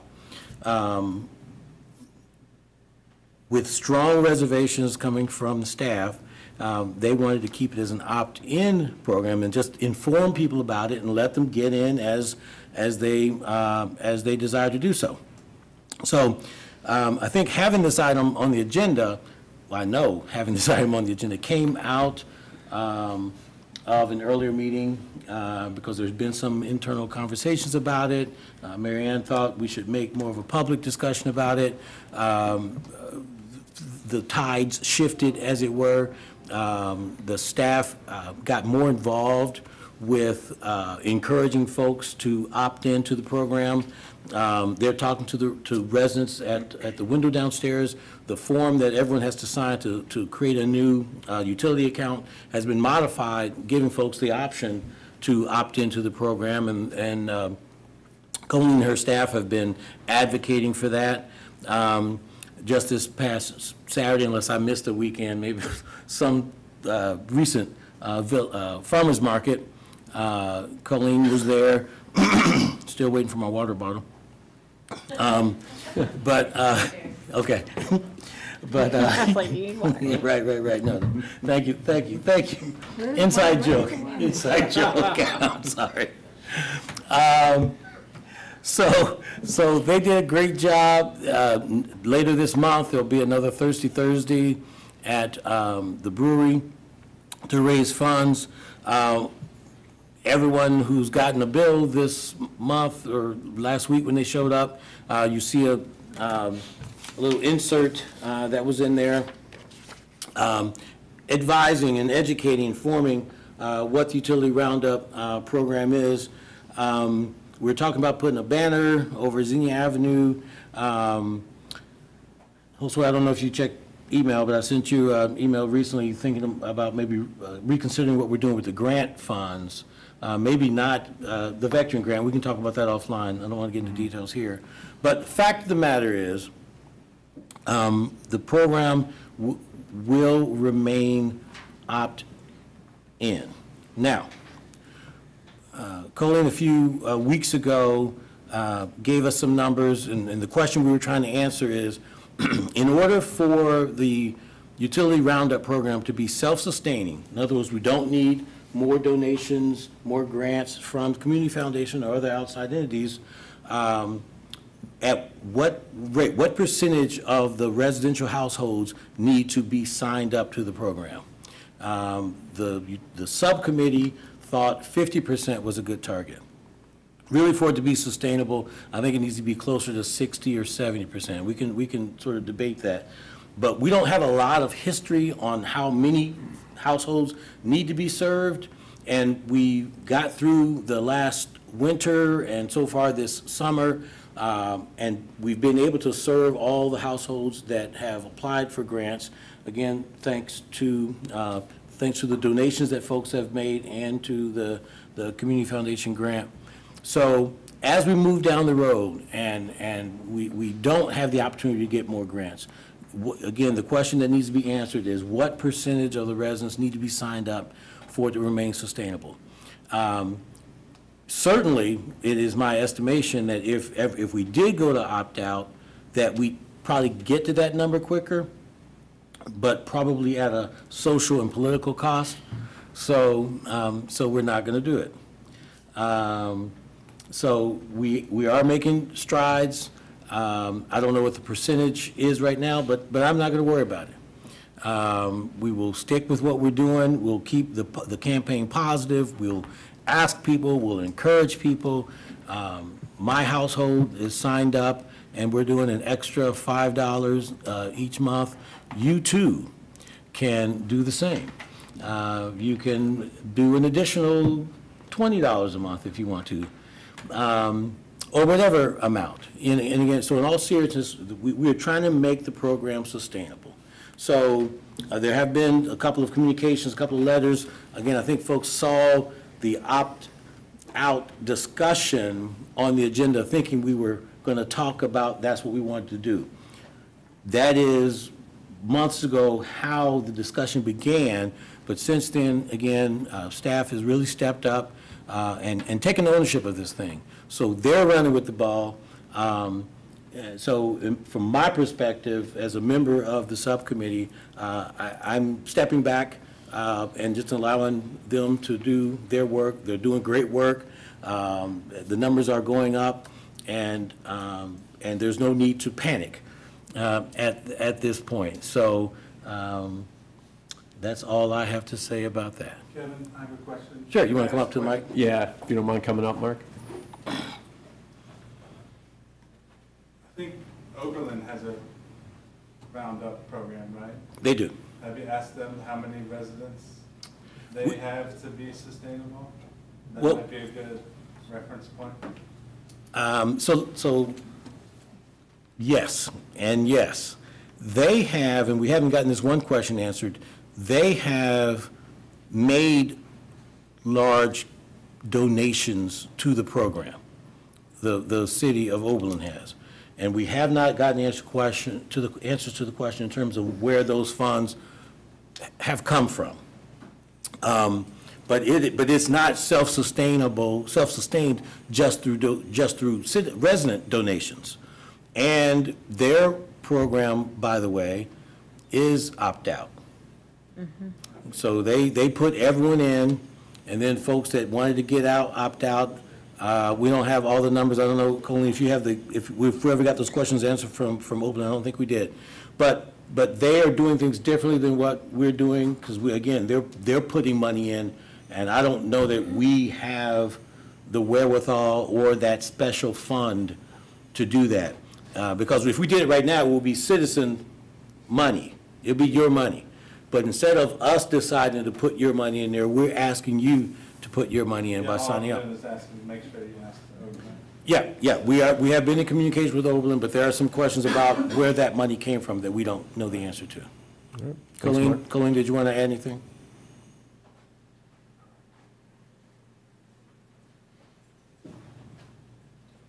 I think the printout that I had from Oberlin was the, they started out every resident as an opt-out. Mhm. But as they signed up and gave them that decision, so it really is an opt-in at that point. They didn't, but I'll, I'll research. The, the copy that I had, they were an opt-in and they were larger. So, um, they, they do have more funds. Yeah. So they have more money as a, as a municipality to put into the fund. So they certainly are putting money in that, that we've chosen not to, but we, we want to share the love, share the wealth, and let every, as many uh, as are able to do it. You know, and if you sign up for the program and don't do anything additionally, on average, you're only going to donate $6 a year. Because on average, each month, your contribution would be between zero and 99 cents. So on average, 50 cents per month, that's $6 a year. So we're really not asking for a lot. It's not, it's not a big reach. Colleen, you want to come in? And, and just as a, a really good comment, it has grown and it is the efforts of everybody and the word of mouth that is going around and at the farmer's market, um, everybody that I talked to, other than that were residents, already knew about it and we had a couple more signups. So it's just been a great program and um, I thank you for getting that started last year and we're hoping to keep it motivated and growing. Great, great. Thanks, Colleen. Um, I mean, and I guess I just want to make sure that uh, any other council members that want to weigh in, I mean, personally, uh, I support the opt-in and, uh, you know, put our energies towards information um, uh, strategy, but I don't know if, Lisa, did you have? Well, any- I mean, when I, when I came into council, this had been on the table, hadn't come to life. It was a significant amount of work to get it going. It's now continued to be a lot of work, a lot of volunteer hours, and I'm really appreciative of, of that. Um, I would want this topic to come up before the program, if and when it looks like the program is failing, I want to bring it up again, because I do feel like you've made a unilateral statement that we're not, of how it's going to be, and I don't always, I don't necessarily agree. I agree with right now, it's growing, and, and I really respect, you know, your perspective and the recommendation from staff. And I also know that people who, anybody I've talked to who has said no, have said no on principle. They're wealthy people. They say no on principle of giving $11.88 a year maximum to help other community members in need. Okay, so I am concerned about the program, and I'm very grateful for the growth, and I don't want it to go down. And I'm not saying it is, but before that happens, I want this back on the table. And I, I mean, I'm willing to take the political flack for $11.88. So I'll hold off for now. So with, with uh, the unilateral statement was that I, as a member of the subcommittee um, and a member of council, am not pushing for opt-out, um, um, period. And so the committee is handling, you know, how it's done, and the committee will decide uh, how it's done, and right now, we're. No, no, no, no, no. I think council gets to decide, Well, does it? so- frankly. I mean, I, I read Josue's report. I read uh, the letter that Patty Bates sent. Mhm, I, I, I actually thought we should do opt-out.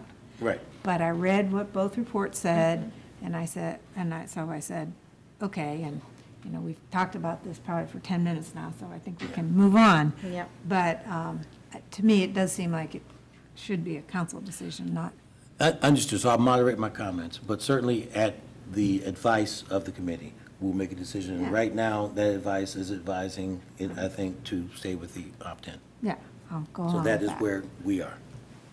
Yeah, and it sounds like we're all um, good with that for now. Did you want to add anything, Kineta, or? My only thought was um, for an opt-out system to give a time period for people to opt out before it hits their bill. Um, And that for the folks who are that's a good idea. opting out um, or saying that they won't do it on principle, um, just to let them know that they can put in more than just the roundup amount, that they can donate as much as they want. Um, And I, I mean, seriously, if they're like, well, I just think that eleven eighty-eight is too low, you can always donate more per bill. So that was just my thought process. And, and I'll say this last point, we can only budget, if you will, the number of folks that are in, if so, if we know how many households are in, on average, yeah, the max is 1188, but on average, it's gonna be, uh, six dollars every year. We can only count those heads, uh, in terms of the number of households that are signed up. It is the extra cash donations that, that you, you can't count on, but those are large, they are coming in.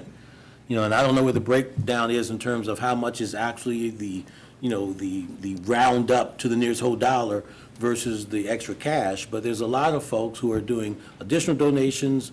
Folks are just dropping by the, the bucket or, or during the, the reach outs or the outreaches that we have, folks are just giving more money. So, I mean, you can't, you can't guess what that's gonna be, but that's been very positive. And I think that's to Colleen's point, you know, the, the funds are growing. So again, yes, we've talked a lot about it, so, Yep. um, ready to move on. All right, thank you. Um, All right, so I guess the other, the next topic is also yours, House Bill 229, Kevin? All right, uh, I don't, I like short meetings, so I won't spend a lot of time talking about this, but um, the, um, there's an Ohio House Bill 229 that is being, a- a modification to the existing fair housing uh, law here in the state um, that effectively says, it's strengthening the language saying that um, landlords cannot deny uh, potential renters uh, access to their properties based on source of income. Um, The, the bill right now is in uh, committee, and they probably won't take it up again until later this month at the soonest. Um, But I'd like for council to consider uh, uh, maybe a resolution or, or some other statement in support of that, if we indeed are in support of that. I don't know that anything will happen uh, in the near term, but the fact of the matter is, it's my understanding that some potential residents uh, in the village have been turned away from opportunities to rent properties uh, when they are are carrying a Section 8 voucher. And so, and, and so Section 8 voucher, a Section 8 is just one of the forms of income that might be discriminated against.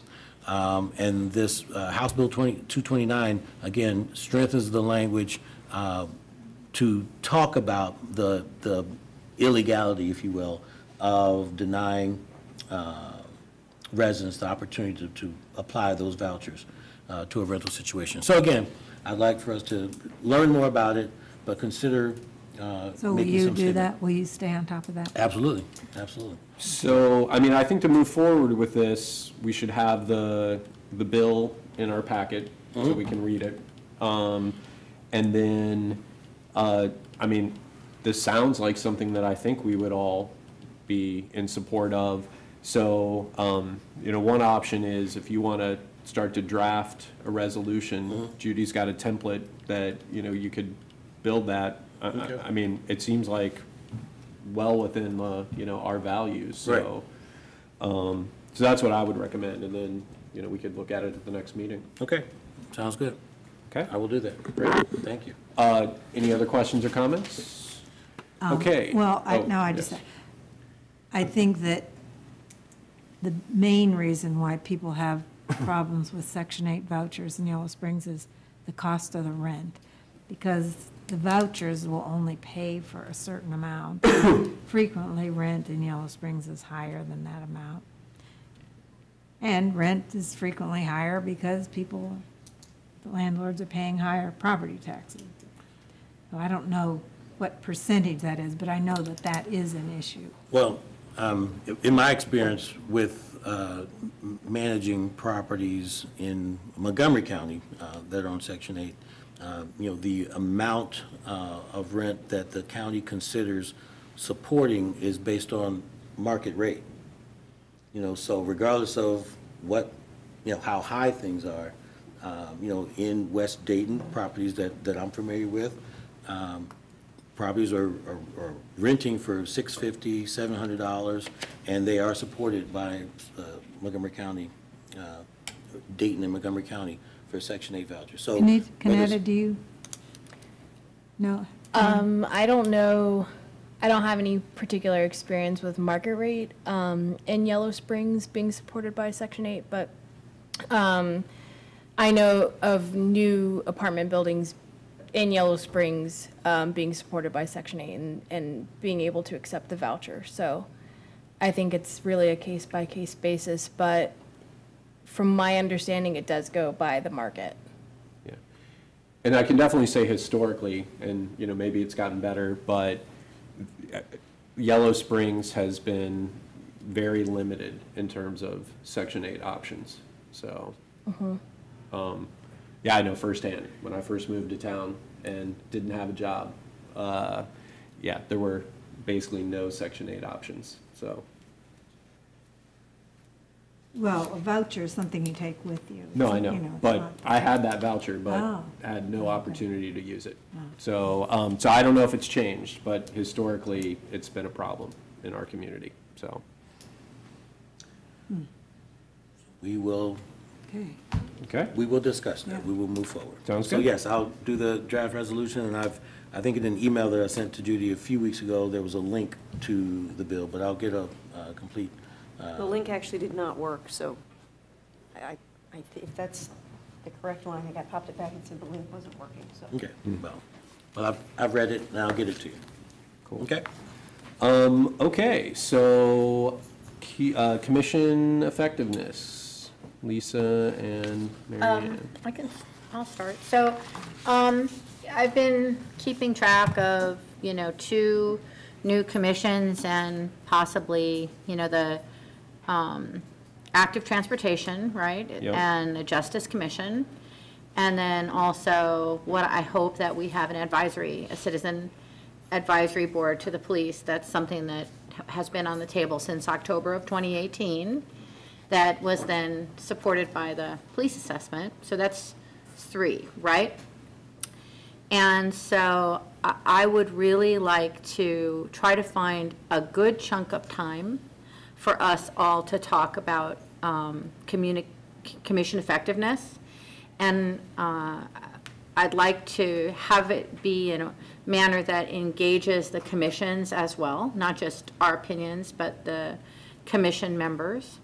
Um, With this idea of what's working, what's not, could the commission be changed to a meet when needed? And, you know, what other ideas do commission members have about changes? Um, Marianne and I spoke about this today, and, and both of us have experience with other organizations and research that says that, you know, it's difficult to engage younger people, people with families, and what they are interested in is episodic involvement in meaningful work. In other words, don't just sign up for something once a month for the rest of your natural-born life, right? So what do you really care about?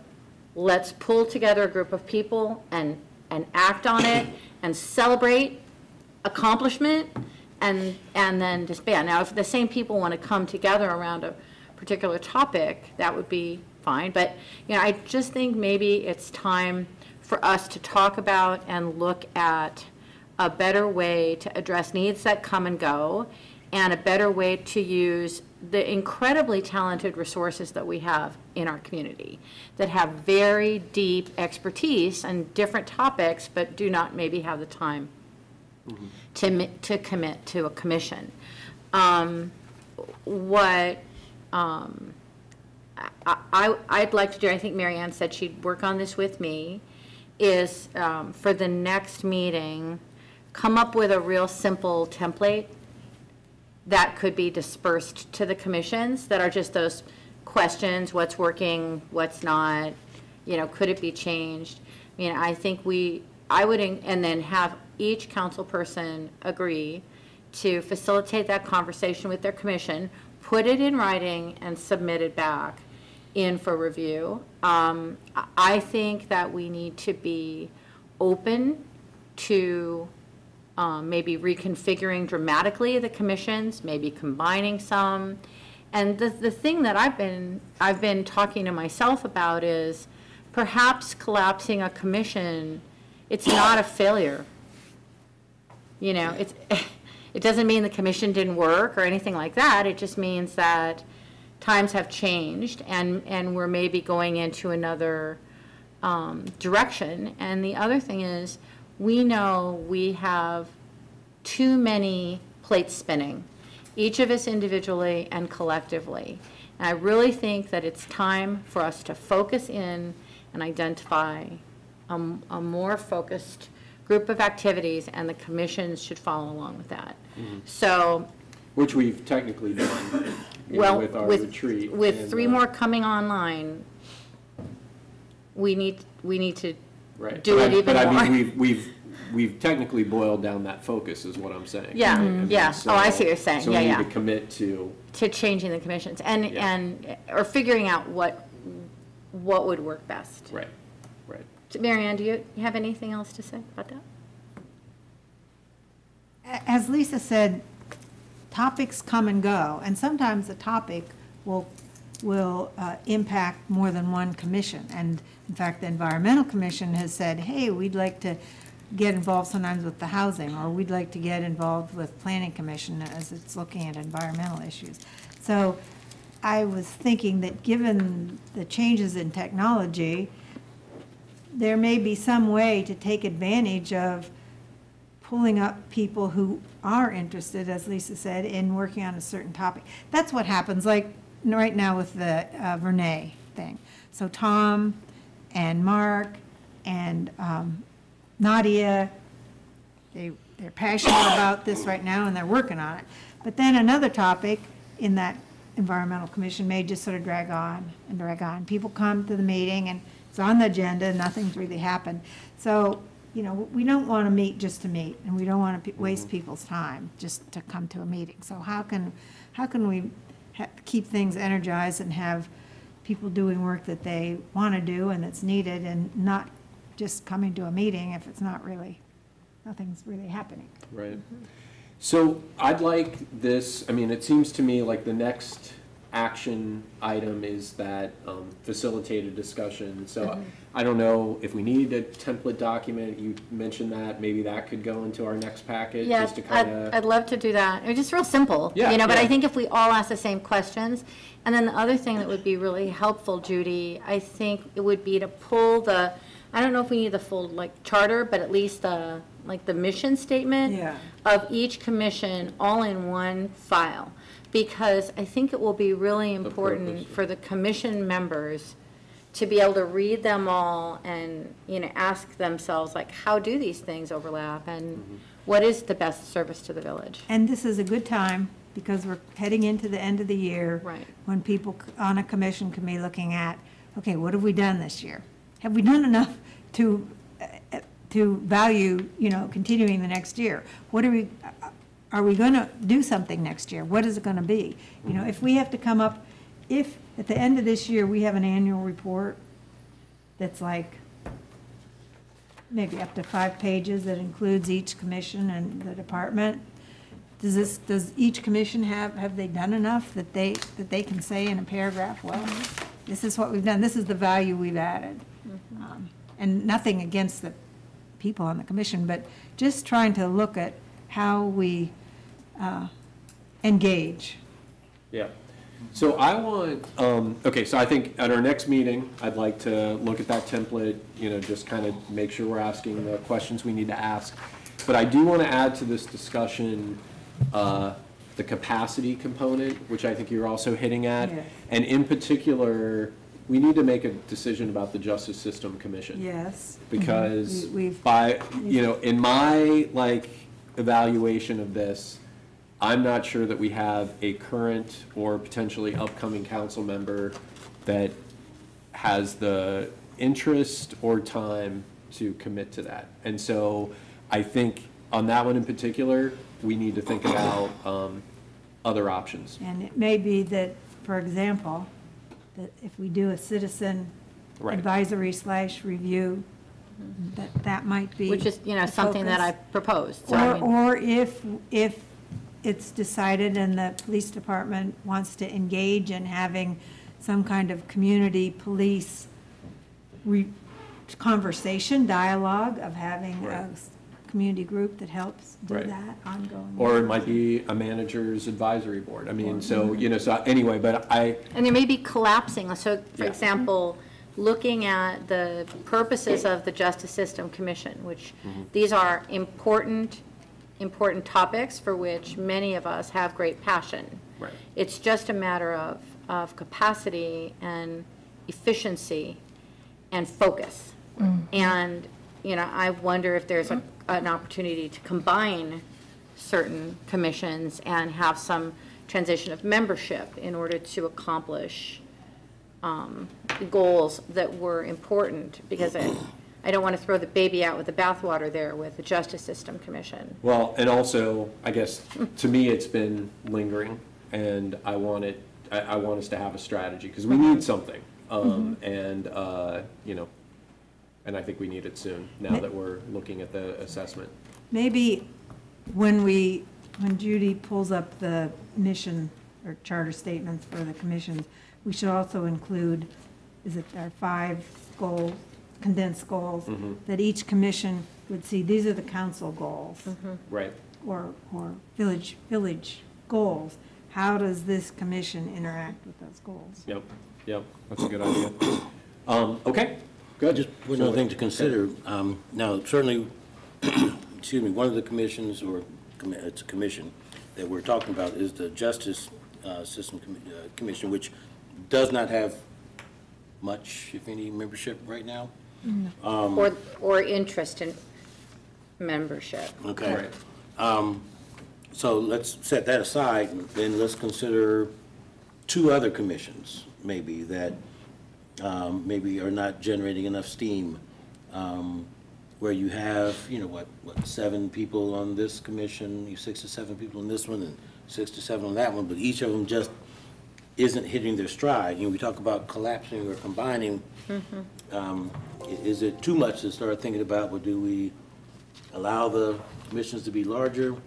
I mean, we don't, you know, even though we might not have steam or, or capacity, uh, when you have a few people that, that just aren't getting it done, but they're still interested, and you got these folks as well, we don't want to just throw them away uh, as well. So would we end up with a larger group? Um, course, this- if it's a manager advisory board, you know, you have the liberty uh, to do that. Mhm. But, you know, if it's going to be a commission that's got more than the seven people. Right. uh, We need to consider what that's going to look like. Okay. Sounds good. All right, so we'll, we'll follow up on that. Um, It's a good thing to bring up. Um, All right, Kevin, I believe you have a um, nomination? Yes, so, um, received information, and everyone has this, um, letter of interest on, on the table. Thank you, uh, Judy, for doing that. Um, Lindsay Burke has expressed interest in, um, joining the, the HRC, Human Relations Commission. Um, She's a longtime resident, a a business owner, and she's currently running the Village Assistance Network. Um, She's a board member on the Human Group, um, and, and other uh, important community action activities that she's been involved with. Kineta and I met with her um, earlier, or last Last week? week. Last week, wow. Thursday. Wow, long week. Uh, And so, yeah, we're, we're like, uh, we're of a kindred spirit. And so, um, so I would like to, to nominate uh, Lindsay as a member of the HRC. And I'll second that. All right, all those in favor signify by saying aye. Aye. All Great, thank you. thank you. Josue, managers report. All right, thank you, Brian.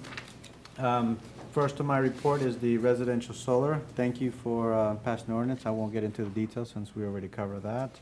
Uh, Next is Public Works and Infrastructure Projects. Railroad Street parking lot is complete, so you'll see the 45 new parking spaces, and people are using it and parking the way that we intended it. So uh, I want to recognize Johnny and and the crew on the great job that they did over there by design. We didn't have to tell anyone how to park. They just figured it out, so. Wow. We'll see how long it lasts. Are those donation boxes out? The donation boxes are up. We have three donation boxes up, one at the railroad um, parking lot and one at the basketball court um, uh, lot, right at the entrance. And we have, the third one is a donation at the charging station, right in the middle of the charging Okay. station. So. We getting um, any, uh, We activity? did, we did, we did. We got twelve dollars. Okay. So it's something, it's something. That's o- over the weekend, so I think it'll, it'll pick up interest, and I think people would value the, the amenities that we're bringing to the, to the, to the village. Uh, uh, One additional note on the rail- railroad parking uh, lot, we've added a cutout, so folks can access the parking lot from the bike path. So you no longer have to go to the end of the street or um, down by the, the courts to get to the parking lot. There's a cut right, um, uh, about three quarters up from the lot, and it pulls into a dedicated bicycle parking space within the parking lot. Wow. So making it, uh, bike-friendly and accessible. Nice. So I guess I want to say two things. Um, I, we can let the donation boxes, I mean, we said we are gonna try that out, but, um, I want us to think about, uh, a sort of, if people aren't donating, some signage that strongly encourages it as a way to not, like, make it a paid lot, and then ultimately, maybe it needs to become a paid lot. Um, so I, I, I guess I want us to think about like some steps to encourage some support uh, for providing that amenity. The other thing I, I didn't want to uh, lose track of is, so I I know that um, the youth center is renting out that lot to um, Peaches, uh, to the Beards. Right. Um, Now that we have more than doubled the spaces, I think that we should get more revenue More from that. than, more than double revenue? Yeah. Of course. So, uh, but anyway, but I wanted to, you know, point that Okay. out, because, you know, I think uh, more capacity, and then if they don't need all those spaces, we could, you know. Right. But, uh, but it's a great way to support our youth programming. What are we Absolutely. renting out, Peaches? Um, four hundred is what they've been. No, no, what? Oh, the, the Dayton Railroad Street. parking lot. So like for street, for street fair, if I didn't say that. So every street fair, uh, the Bryan Youth Center used to like manage it as like a kind of VIP parking lot, um, but then it shifted to just Peaches is like, we want all those spots for the vendors that set up in their parking lot. So, but anyway, more So- spaces, I think. Yes, uh, so we'll reach out to uh, Peaches on that rental, and we'll update our signage to see if we can encourage more people to donate. I think there's also an effort to encourage, uh, to reach out to the benefit, to the businesses, because I think they're the beneficiaries of additional parking, better layout of the parking, so we'll also reach out to them and see if we get anything. Okay, great. All right, on the Bryan Center parking, we've, uh, you know, there's additional parking spaces going on there. We expect to finish that project on the 29th. Um, The driveway is complete, repairs and fence painting is complete. We've added additional lining, uh, lighting with a manual timer. I don't know if you've seen the basketball courts, but the electric power team added a, a a knob, a, a manual timer, so they can add up to an hour and the lights turn on and hmm. then they automatically turn off, so it doesn't require someone in the back office turning on and off the hmm. lights. So, nice feature. Less light pollution. Yes. Laura Curliss. Hey, I'm all So power washing and seal coating is underway on the courts this week. Uh, Repairs and cleanup on the hillside, we're, uh, uh, the stairs and the storm drain is in progress. We're trying to figure out a solution for the stairs and how the water runs off that area, so we're working on that. Um, We got power washing at the, at the John Bryan Center. We've got the quarry uh, sewer line replacement project that you just voted on earlier. Um, I'll skip over the pool cells. The emergency management plan, in your package, you should see an emergency plan, um, uh, preparedness update. It includes a number of policies that we reviewed today. That's sixty-four with an additional forty-one that are under review. Uh, Efforts that are currently underway, the police command staff participated in an active threat um, training session on August 20 and 21st at the Montgomery County, and we've uh, updated our roles and responsibility for the emergency support functions for local incidents, which it's attached to your, re- the report. Um, Unless you need me to, we can go by area. There are several areas covered, transportation, communication, public works, and engineering, firefighting, emergency management, mass care, emergency assistant, housing and human services, logistics management and resource support, public health and medical services such as search and rescue, oil and hazardous waste material response, agricultural and natu- natural resources, energy, public safety and security, long-term community recovery, and external affairs. Also, at the bottom of the report is the communication chain, or who are the individuals that are communicated uh, with incidents and information on a need-to-know basis. So those individuals are listed in that report. Uh, Thank you, everyone, for working on this. And Mhm. I'd like to suggest that when it's complete, to whatever degree it's going to be complete, that maybe there'd be a special presentation at council, that we take a half hour or 45 minutes, I don't know, however long it takes, because this is critical.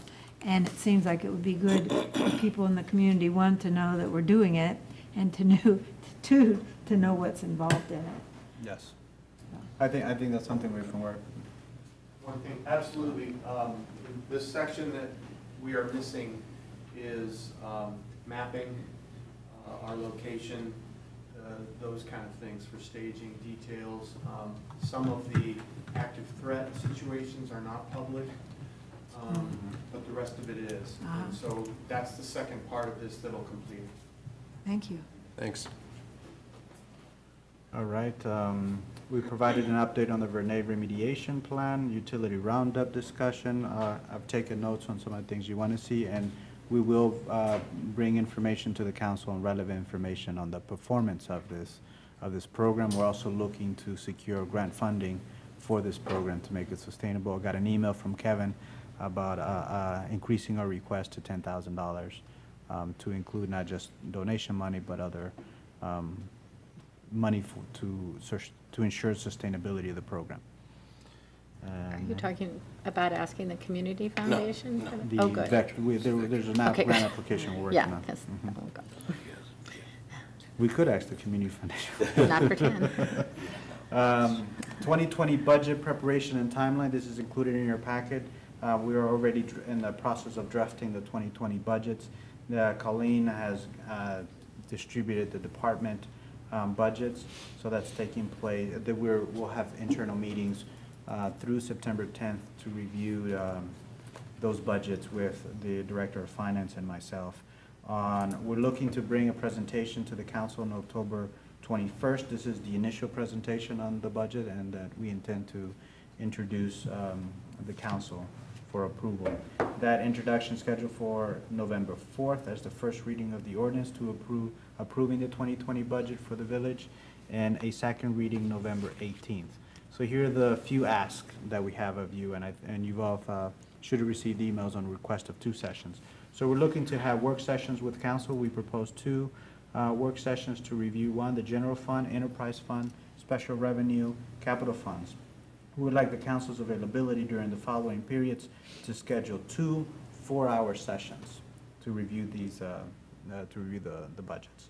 Um, I think I'll work with, uh, with Judy on scheduling those work sessions, so thank you for um, uh, making your availability known for those meetings.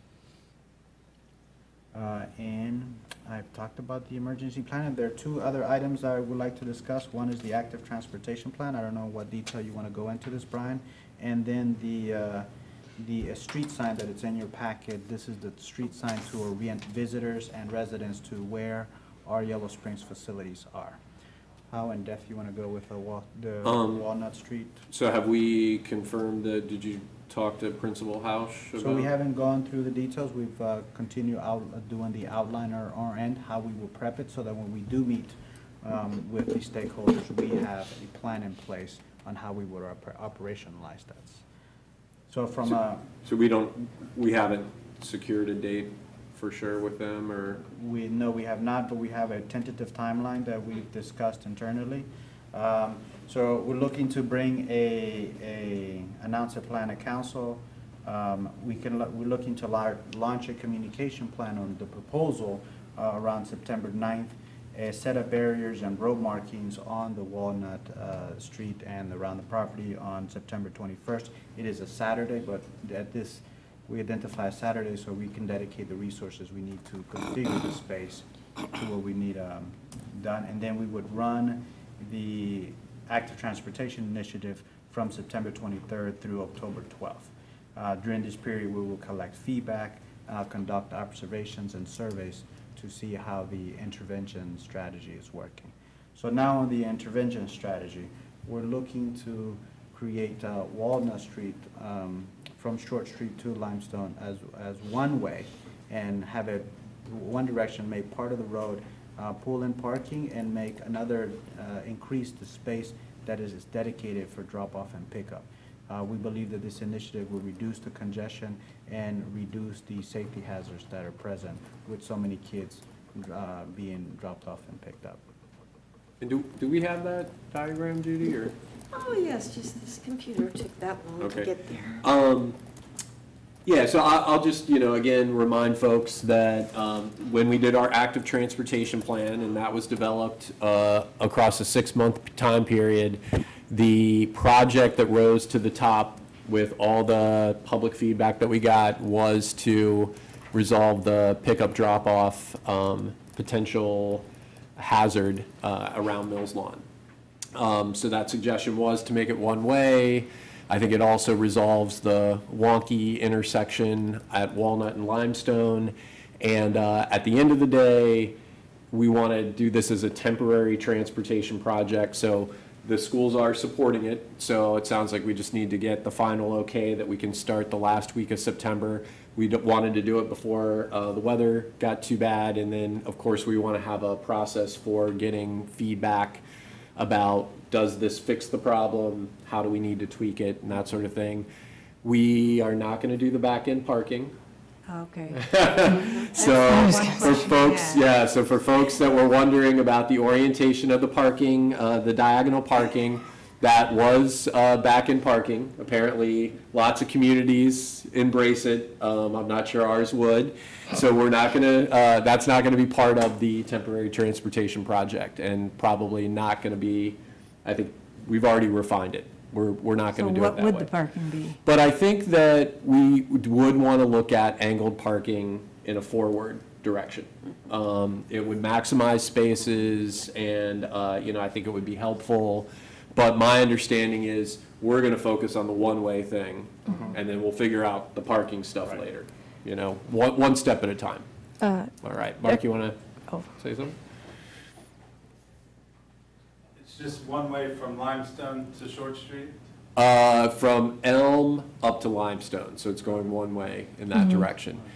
And that's part of what we need to test out. Um, you know, there were discussions about like, what about one way the other way? But the, um, the, uh, you know, the planners thought that, um, based on the information they had, that it would be better to head south. Well, a lot of times I go, you know, north on sixty-eight. Yep. And then go down Walnut Street on my way to the brewery, you know. Right. That's the way up that way, you know. Yep. And so now we have to go through downtown or go up, uh, go over to High Street and then. Right. and Then over. Right. Yeah. Um, it, you know, if we decide that it's a permanent fix, right? You know, So, but we'll try it first and see what people think. So, Did you say it closed one way from Elm or from Short? Because if it's Short, then people can still make that jog through Short up to Elm. So actually, that's a good question. Um, the, the proposal was from Elm, but, um, you guys are thinking about starting it at Short? Yes, we're thinking about short, and we also have identified another opportunity, since that we're testing Walnut, we could also test an initiative on Short Street, making Short Street one-way. So uh, coming, uh, north on sixty-eight, be, being able to make that left turn onto Short as a one-way, and have the lane be the left lane, and we can add additional parking on the right side, not just car parking, but also bicycle parking.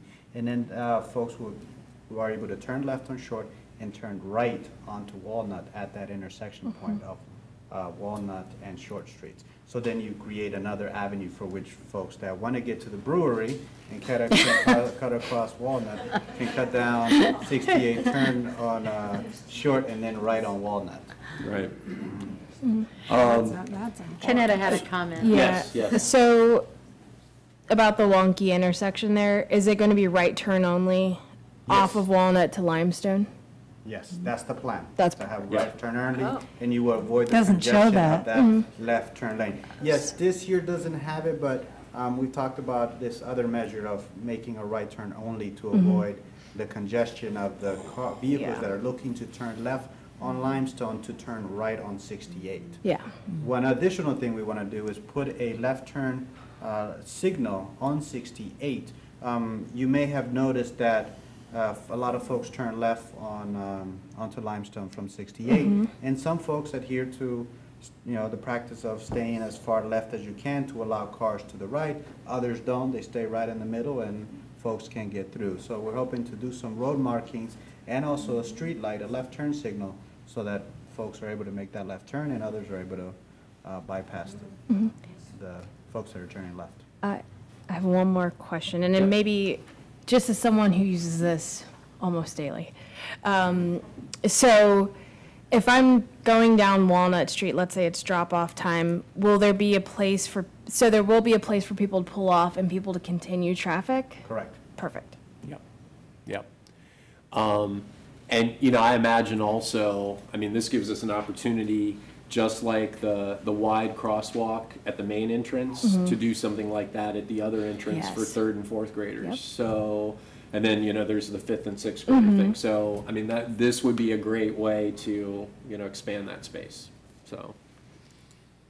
Okay, but remember, it's temporary. That's So, we try it, we see how it works, we get feedback, and, uh, I mean, ultimately, you know, these are things that the community identified as needing, uh, treatments.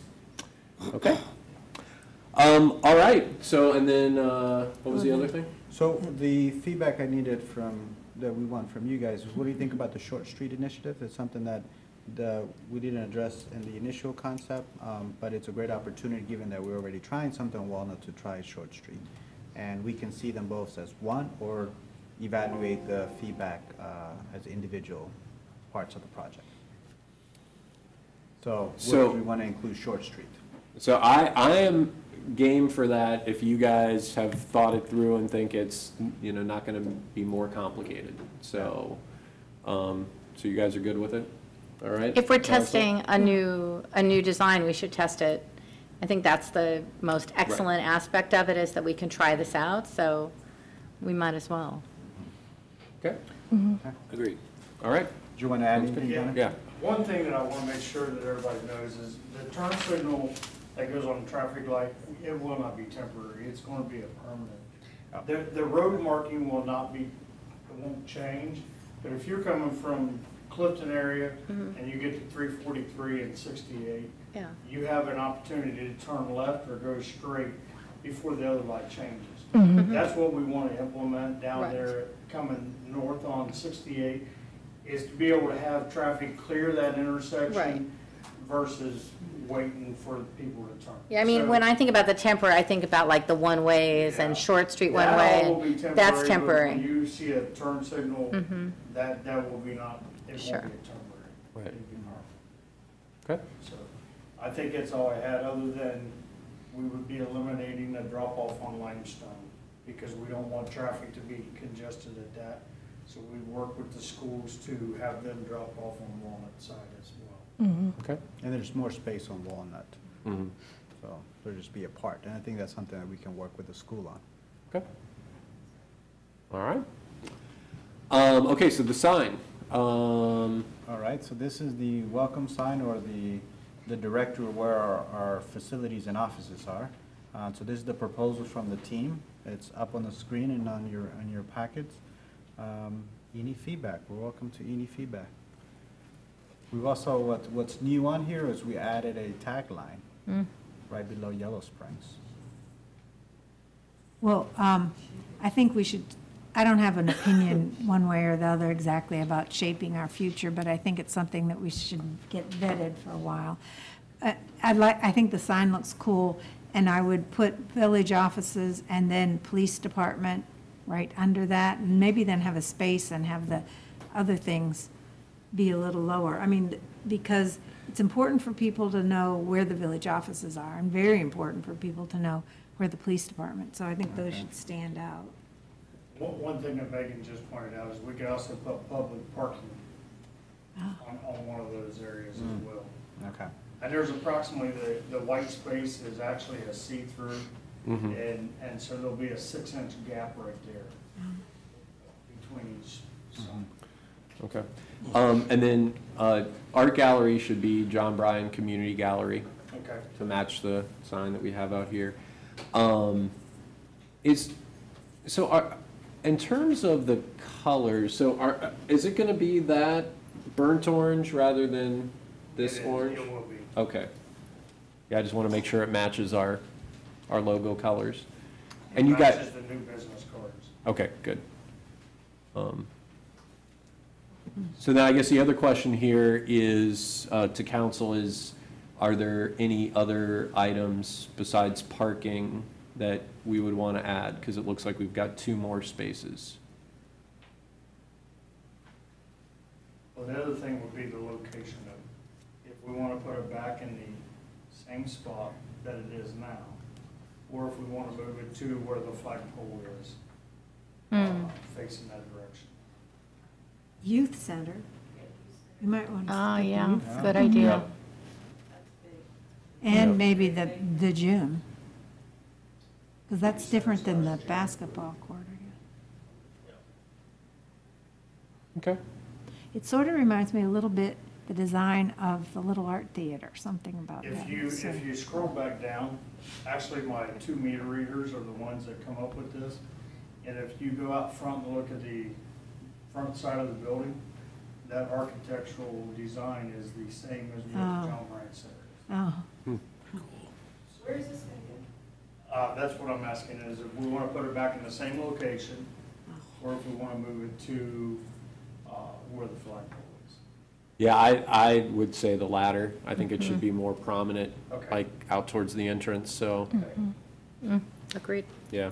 And then if we do put it there, then we have the opportunity for other things on the back of the sign. So when you're walking back up to town, do we want to put something on the backside? Yeah, so Johnny and I talked about like we could have things like a welcoming community, you know, and that mm-hmm. kind of, you know, some of our value statements, uh, which I like a lot. Nice. So, Maybe that should be the tagline. Yeah. Yeah. Yeah. It, it will be, where, yeah, whereas actually putting a new panel behind it and it'll be grounded. Should we put public restrooms on there? I was gonna say that exact Yeah. thing. public restrooms. Yeah. Hmm. Oh, On the back side, like when people come out of their cars, so they know which way the public. Okay, so let's do this. Um, I mean, I, we've wanted a new sign. I know, Johnny, you've been thinking about this for a long time, and it's long overdue. Um, so why don't we give it until the next meeting for any other thoughts about what should be on it? Um, and then we'll make a final decision and put it in production. That'd be fine, because they're actually doing meter reads right now, so that gives them a couple of weeks and collect our thoughts, and then they'll assemble it. Did we catch Marianne's comment that A welcoming a community? welcoming community might be another tagline? Yeah. It's a dementia-friendly community. Well. So if you're lost, actually- look at the back. I know, bicycle friendly, we're, yeah, we're, uh, We, it can't just say friendly community. Well, Maybe it needs to rotate. Because we're really not all that friendly. Sometimes Okay. friendly. Um, Sometimes friendly community. all right, well, exciting. Monday, Thanks for doing that work. Yeah, Laura. Question, is it gonna be ground mount? Ground mount, yeah, okay. Um, all right, great. Judy? Nothing except to say thank you so much for a great summer, pool staff. Sorry to see the pool close.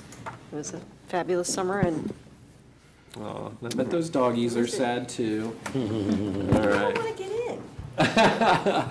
Um, okay, so with that, uh, future agenda items. So we've obviously flagged a few things. Uh, any other thoughts for agenda planning? So I have com- your commission's review as a topic for Yes. new business, we'll figure that out. Yeah. Um, Draft resolution supporting House Bill 229 in old business. Mhm.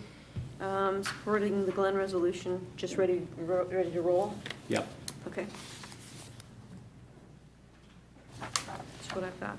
All right. I, I am un, unhappy to say that I, I can't confirm that the health assessment results will be presented. Uh, I'm leaving it on there for now, but I may pull it. Okay. So Are we keeping something about the police assessment on, or? We should. Okay, Yeah. all right. So that'll just go, that'll go under old business. So it's, Would that be to collect, still collect comments or maybe Additional schedule the comments. community forum or? Something. Certainly additional comments, because I think I heard a general theme that people felt Needed more time? Yeah. rushed. We all felt rushed, the community members who came. Okay. And I guess you could be working with staff yes. on comment. Yes. Okay, so I'll entertain a motion to adjourn. I move. Second. All those in favor signify by saying aye. Aye. Thanks, everyone. Thank you. Thank you. And thanks for people who hung out the whole meeting. See staff. Ah. Yeah, you gotta be stealthy.